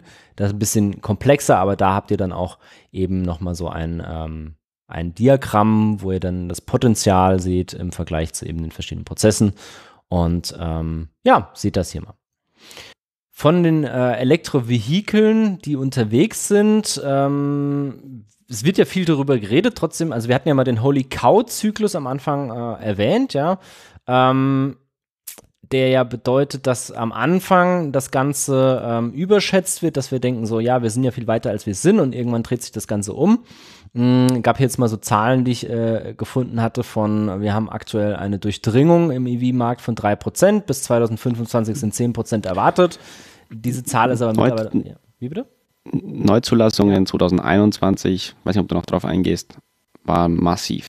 Ja. War eine Verdopplung im Vergleich zu 2020. Wir hatten im letzten Jahr äh, ob das eine sinnvolle Subsumierung ist, ist eine andere Frage, aber ja. die Kombination aus Plug-in-Hybrid ja. und äh, EV-Vehikel waren 25 Prozent aller Neuzulassungen in Deutschland letztes Jahr. Okay, das ist äh, massiv, äh, denn 2020 waren es, also nicht die Neuzulassung, aber insgesamt waren es 10,5 Prozent, die da unterwegs waren. Ähm, 5,3 davon Battery only, der Rest waren eben diese äh, Plug-in-Hybride, wo man ja drüber reden kann, ob die sinnvoll sind oder nicht. Ich kenne ein paar Leute, die so ein Plug-in-Hybrid haben, habe mit denen auch mal gesprochen und haben die gesagt, so naja, wissen Sie, ähm, wir verbrauchen das Benzin nur, weil man den einmal im Monat laufen lassen soll, das Aggregat. Ansonsten tanken wir das nur noch mit Strom. Denke ich mir, so hättest du dir auch den Plug-in sparen können. Aber äh, naja, man kriegt die Förderung dafür und ist ja auch ganz hilfreich, um diese Reichweitenangst zu bekämpfen, wenn ich halt doch irgendwie im Notfall tanken könnte, wenn ich es denn müsste. Und bei manchen ähm, ist das ja vielleicht sogar sinnvoll. Wir hatten jetzt vorhin auch Quelle gerade eingefügt, 13,6 Prozent äh, Neuzulassungen. äh, Zuwachs von plus 83 Prozent. Wir haben insgesamt 10 Prozent weniger Autos versus 2020 gehabt und ähm, 12,4 Prozent jetzt Plug-in-Hybride, auch 62 Prozent Zuwachs ähm, in 2022. Von ja. daher. Okay. Sieht ganz gut aus. So, wir waren ja eigentlich noch bei der Nutzung von, äh, von Lithium. Ähm, hier würde ich ganz gerne noch äh, eben auch auf die Punkte Kernfusion und Kerntechnik eingehen. Da hatten wir das Erbrüten von Tritium ähm, bereits erwähnt. Also Tritium wird eben dann über das Lithium-6 in der Reaktorhülle ähm, äh, erzeugt und ähm, sehen hier eben, äh, das ist das einzige Alkalimetall mit einem stabilen fermionischen Isotop und äh, dementsprechend hat das halt auch eine Relevanz in der Forschung von ultrakalten fermionischen Quantengasen. Um ehrlich Martin, zu sein, jetzt hab, erklär mal, was ja, du damit ja. meinst. um ehrlich zu sein, ich habe keinerlei Ahnung, was das ist, aber es klingt einfach cool, deswegen wollte ich es hier mal reinschreiben. Ähm, ja, ich nehme an, dass es einfach ähm, ja, in, in diesem, äh, in diesem äh, Kerntechniken, kerntechnischen Bereich, Forschungsbereich, äh, eine Relevanz hat, ähm, auch wenn es wahrscheinlich da jetzt nicht so viel an Lithium ist, was da eingesetzt wird, sondern dass eher kleine Mengen sind. Ich glaube, da geht es darum, um eben äh, nah an den äh, tatsächlichen Nullpunkt ranzukommen. Aber ehrlich gesagt, ich weiß es nicht. Falls irgendeiner was dazu weiß, äh, kommt gerne mal rein, dann machen wir eine, eine kleine Exkurs-Episode äh, zum Thema ultrakalte fermionische, Quantengase, fände ich auch interessant. ja. Äh, anderer Einsatzzweck ist äh, im Bereich Metalle äh, oder auch im Bereich Legierung. Ähm, da hat man verschiedene ähm, Metallkombinationen, ähm, die dann ähm, gewonnen werden können und verwendet werden können. Meistens werden äh, Lithiummetalle direkt aus dem Lithiumcarbonat gewonnen. Ähm, ich werde jetzt einfach mal ein paar vorlesen, falls ihr euch mal über den Weg laufen, dann wisst ihr, ah, habe ich schon mal gehört. Ähm, zum Beispiel das äh, Butyllithium, das ist äh, als starke Base im Einsatz. Äh, in der synthetischen organischen Chemie wird das eingesetzt. Ähm, dann äh, gibt es auch noch Lithium-Wasserstoffverbindungen, die im Einsatz sind. Zum Beispiel Lithiumhydrid, das wird auch in der Chemie eben eingesetzt. Äh, Lithium-Aluminiumhydrid äh, wird in der organischen Chemie eingesetzt. Ähm, Lithiumamid äh, ist eben äh, in der organischen Chemie auch relevant und äh, wird hier eben eingesetzt, ja, für, für verschiedene ähm, Prozesse. Ähm, zum Beispiel für die Reaktion direkt mit Stickstoff, äh, um also da ist es halt relevant, wenn ich jetzt ähm, Stickstoff aus Gasen entfernen möchte, dann ist es ja so ein Problem. wenn ich da jetzt eben etwas habe, was direkt mit Stickstoff reagiert und das umwandelt, dann kann ich hier meine Gase damit praktisch äh, reinigen. Ja? Oder man setzt es ein als starkes Reduktionsmittel, zum Beispiel zur Hydrierung oder Entschwefelung, Desoxidation oder zur Entkohlung. Äh, das ist dann insbesondere auch im Petrotech-Bereich im Einsatz. Ja? Ähm, oder halt auch als Einsatz als Anode nicht wieder aufladbaren Lithium-Batterien. Man muss da ja auch sehen, äh, wir haben verschiedene Akku- und Batterietechnologien, die auf Lithium zurückgreifen und manche davon sind halt einfach auch nicht aufladbar. Ja. Und äh, da kann ich natürlich auch Lithium einsetzen. Wie ich es vorhin gesagt habe, ähm, in Legierung wird es auch eingesetzt. Wir hatten ja vorhin das Thema mit äh, den Schmiermitteln. Da hat man Lithium reingebracht, um eben die äh, Temperaturbeständigkeit zu verbessern. Bei Legierungen macht man das teilweise auch, einfach um die Temperaturbeständigkeit zu erhöhen. Aber insgesamt kann man äh, durch geschicktes Zugeben von Lithium auch die Zugfestigkeit und die Härte und die Elastizität erhöhen.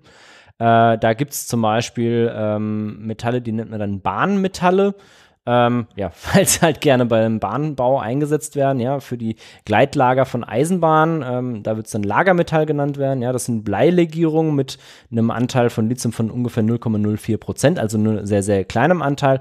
Trotzdem ist dieses Gewürzmetall in dem Fall dann einfach äh, relevant und wichtig, um eben hier die gewünschten Eigenschaften zu erreichen. Äh, Magnesium-Lithium-Verbindungen oder Magnesium-Lithium-Legierungen werden dann eingesetzt, um die mechanischen Eigenschaften zu verbessern, also die Belastbarkeit da zu verbessern und weil es einfach sehr leicht ist. Ähm, und das ist zum Beispiel bei Werkzeugen relevant, ja, äh, Aluminium-Lithium-Legierung ähm, im Grunde genauso. Ja, also Magnesium-Lithium und äh, Aluminium-Lithium-Legierungen werden überall eingesetzt, wo man eben spezifische mechanische Eigenschaften haben möchte und das Ganze nicht zu schwer sein darf. Also zum Beispiel auch im Flugzeugbau. Ähm, großer Teil ist ja, oder lange Zeit der Hauptabnehmer und immer noch ein großer Teil ist äh, Glas- und Keramikherstellung. Äh, da war ich erstmal so ein bisschen verwirrt, so dachte mir so, hm, wo wird da Lithium eingesetzt und habe dann mal ein bisschen geguckt. Äh, es gibt etwas, das nennt sich äh, Pyrex-Glas. Und äh, Pyrex Glas ist eigentlich ein, ein Markenname, aber es ist ähnlich wie Tempo. Das wird mittlerweile da einfach auch insgesamt für diese Gläser eingesetzt. Äh, das sind besonders hitzebeständige Gläser, die man dann zum Beispiel in, in Öfen braucht oder halt äh, überall, wo du ein Glas haben willst, das aber hitzebeständig ist. Und ähm, unter anderem wird Lithium auch in TV-Bildschirmen eingesetzt, insbesondere in den Röhrenmonitoren. Ähm, einfach um hier die, ähm, ja, äh, zu TV-Bildschirmen machen wir vielleicht nochmal was extra. Aber da hast du ja, ähm, äh, du feuerst ja im Grunde mit, wenn ich es jetzt noch wüsste, sind es Elektronen auf äh, diese Bildschirme im Ja, es sind Elektronen, aber Röhrenmonitore haben wir schon seit langem nicht mehr bei Haben wir nicht mehr, aber da also waren sie auch im großen Einsatz und das fand ich doch auch interessant, weil damals wurde dafür halt auch schon Lithium eingesetzt. Man könnte jetzt auf die Idee kommen, wir, wir ja, machen wir Recycling von den Röhrenmonitoren, nur leider halt auch wieder nur in einem ganz, ganz kleinen äh, Anteil, weswegen sich das vermutlich nicht lohnt. Ja, fand ich aber interessant trotzdem. Also äh, auch eure Großeltern, wenn die sagen, ihr seid Lithium-Junkies, weil sie den YouTube-Spot gesehen haben von Terra X, könnt ihr sagen, ihr seid auch Lithium-Junkies, weil eure Röhrenmonitore sind auch mit Lithium gelaufen. ja. So, aber ich würde vorschlagen, äh, wir machen jetzt eine kleine Pause und äh, splitten dann hier auch die Aufnahme in Teil 2 äh, und äh, nehmen dann äh, später am Tag heute noch Teil 3 auf. Und dann ist das für euch, äh, liebe Zuhörenden, auch etwas angenehmer. Dann könnt ihr jetzt nämlich hier auch pausieren und ähm, dann euch einfach Teil 3 zu Lithium reinziehen. Dann über Recycling, Substitution, Märkte und so weiter und so fort. Das ist genau. für dich in Ordnung. Ich sehe dich nicken. Sehr gut. Ich habe noch eine kleine, äh, eine kleine News äh, für euch. Und zwar habe ich jetzt äh, nebenher über Twitter eine Nachricht bekommen ähm, und zwar äh, war das nicht ganz so korrekt, was wir gesagt hatten über, Liz, äh, über äh, Uran ganz am Anfang. Ähm, und zwar die Uranversorgung von Frankreich und die Uranversorgung der EU läuft zu 40 Prozent über Kasachstan. Also wir sind da, also das ist jetzt nicht bestätigt, das wurde mir eben geschrieben. Äh, das scheint aber so zu sein, dass wir als EU dann vielleicht doch ein kleines Problem mit unseren AKWs haben. Ach, sind die am Ende böse. vielleicht doch nicht so nachhaltig, wie wir immer dachten? Also nachhaltig sind sie total, aber also natürlich super, aber so geostrategisch ist die Abhängigkeit vielleicht gar nicht so doof, wenn man von der Sonne und dem Wind abhängt mehr und nicht davon, dass mir ein Land ein Mineral liefert. Ja. Naja, gut, da als, hast du halt auch die Abhängigkeit, ne? Also Brennstoff liefert. Also, naja, ähm, so Erneuerbare brauchen keinen Brennstoff. Das ist nee. schon mal ein Fortschritt. Ich bin unabhängiger in der Zeit, Zeitskala, ja. wann ich jetzt meinen, meinen Shit bekomme. Ja. Wenn ich ja. da Solarzellen gebaut habe, dann liefern die auch Strom, auch wenn ich keine neuen Solarzellen geliefert mhm. bekomme. Ja, ja, auf jeden Fall. Und äh, ja, bei den PV-Zellen hast du halt wieder andere Probleme, wie jetzt menschenrechtliche Probleme, äh, die da irgendwo gefördert oder hergestellt werden oder das Silizium dafür hergestellt wird in Gebieten, wo dann die Uiguren unterdrückt werden oder sowas. Aber das ist ja auch nochmal, äh, das sind halt Aspekte, die man auch betrachten muss, aber das ist ja jetzt auch Whataboutism, den ich hier betreibe. Es geht jetzt erstmal um die Energieversorgung und Energiesicherheit. Und wenn ich das halt auf Gas mache, dann ist halt, äh, wenn hier der Mann am Bosporus oder der Mann äh, in, in Moskau, äh, ich liebe diese Begriffe, ja, so richtig schön ähm, ja, egal, Kampfbegriffe. Äh, wenn der den Hahn zumacht, dann geht halt ein paar Tage später bei uns das äh, äh, Gas aus, beziehungsweise wenn man die strategischen Reserven dazu nimmt, dann eben ein paar Wochen später. Beim Uran läuft das vielleicht noch ein bisschen länger, weil ja so ein Und ich sag dir, das nächste, ja, was knapp ist nach Toilettenpapier, sind, sind, sind, sind Decken. Decken. Ja. ja. Ich glaube, die warm bleibst. auch vorher, ja. Äh, so, so, ja, Gaskocher so. bringen ja nichts, wenn du kein Gas hast. Aber wenn du so eine richtig fette Decke haben willst, weil du zu Hause nicht mehr heizen kannst, Gas was meinst du, wie schnell wir keine Decken mehr bekommen? Ja. Ja, gibt ja schon wieder auch die Vermutung, dass jetzt durch die ganzen äh, Corona-Omikron-Gedöns äh, die Lieferketten wieder zusammenbrechen, wo ich mir so denke, so, hm, was sollen da noch groß zusammenbrechen? Die waren ja nicht mehr stabil, aber anyhow, auf jeden Fall äh, hört ihr jetzt dann gleich die dritte Episode. Wir machen jetzt hier einen kleinen Cut und dann äh, hören wir uns in der nächsten Episode. Auf Wiederhören. Ciao, ciao.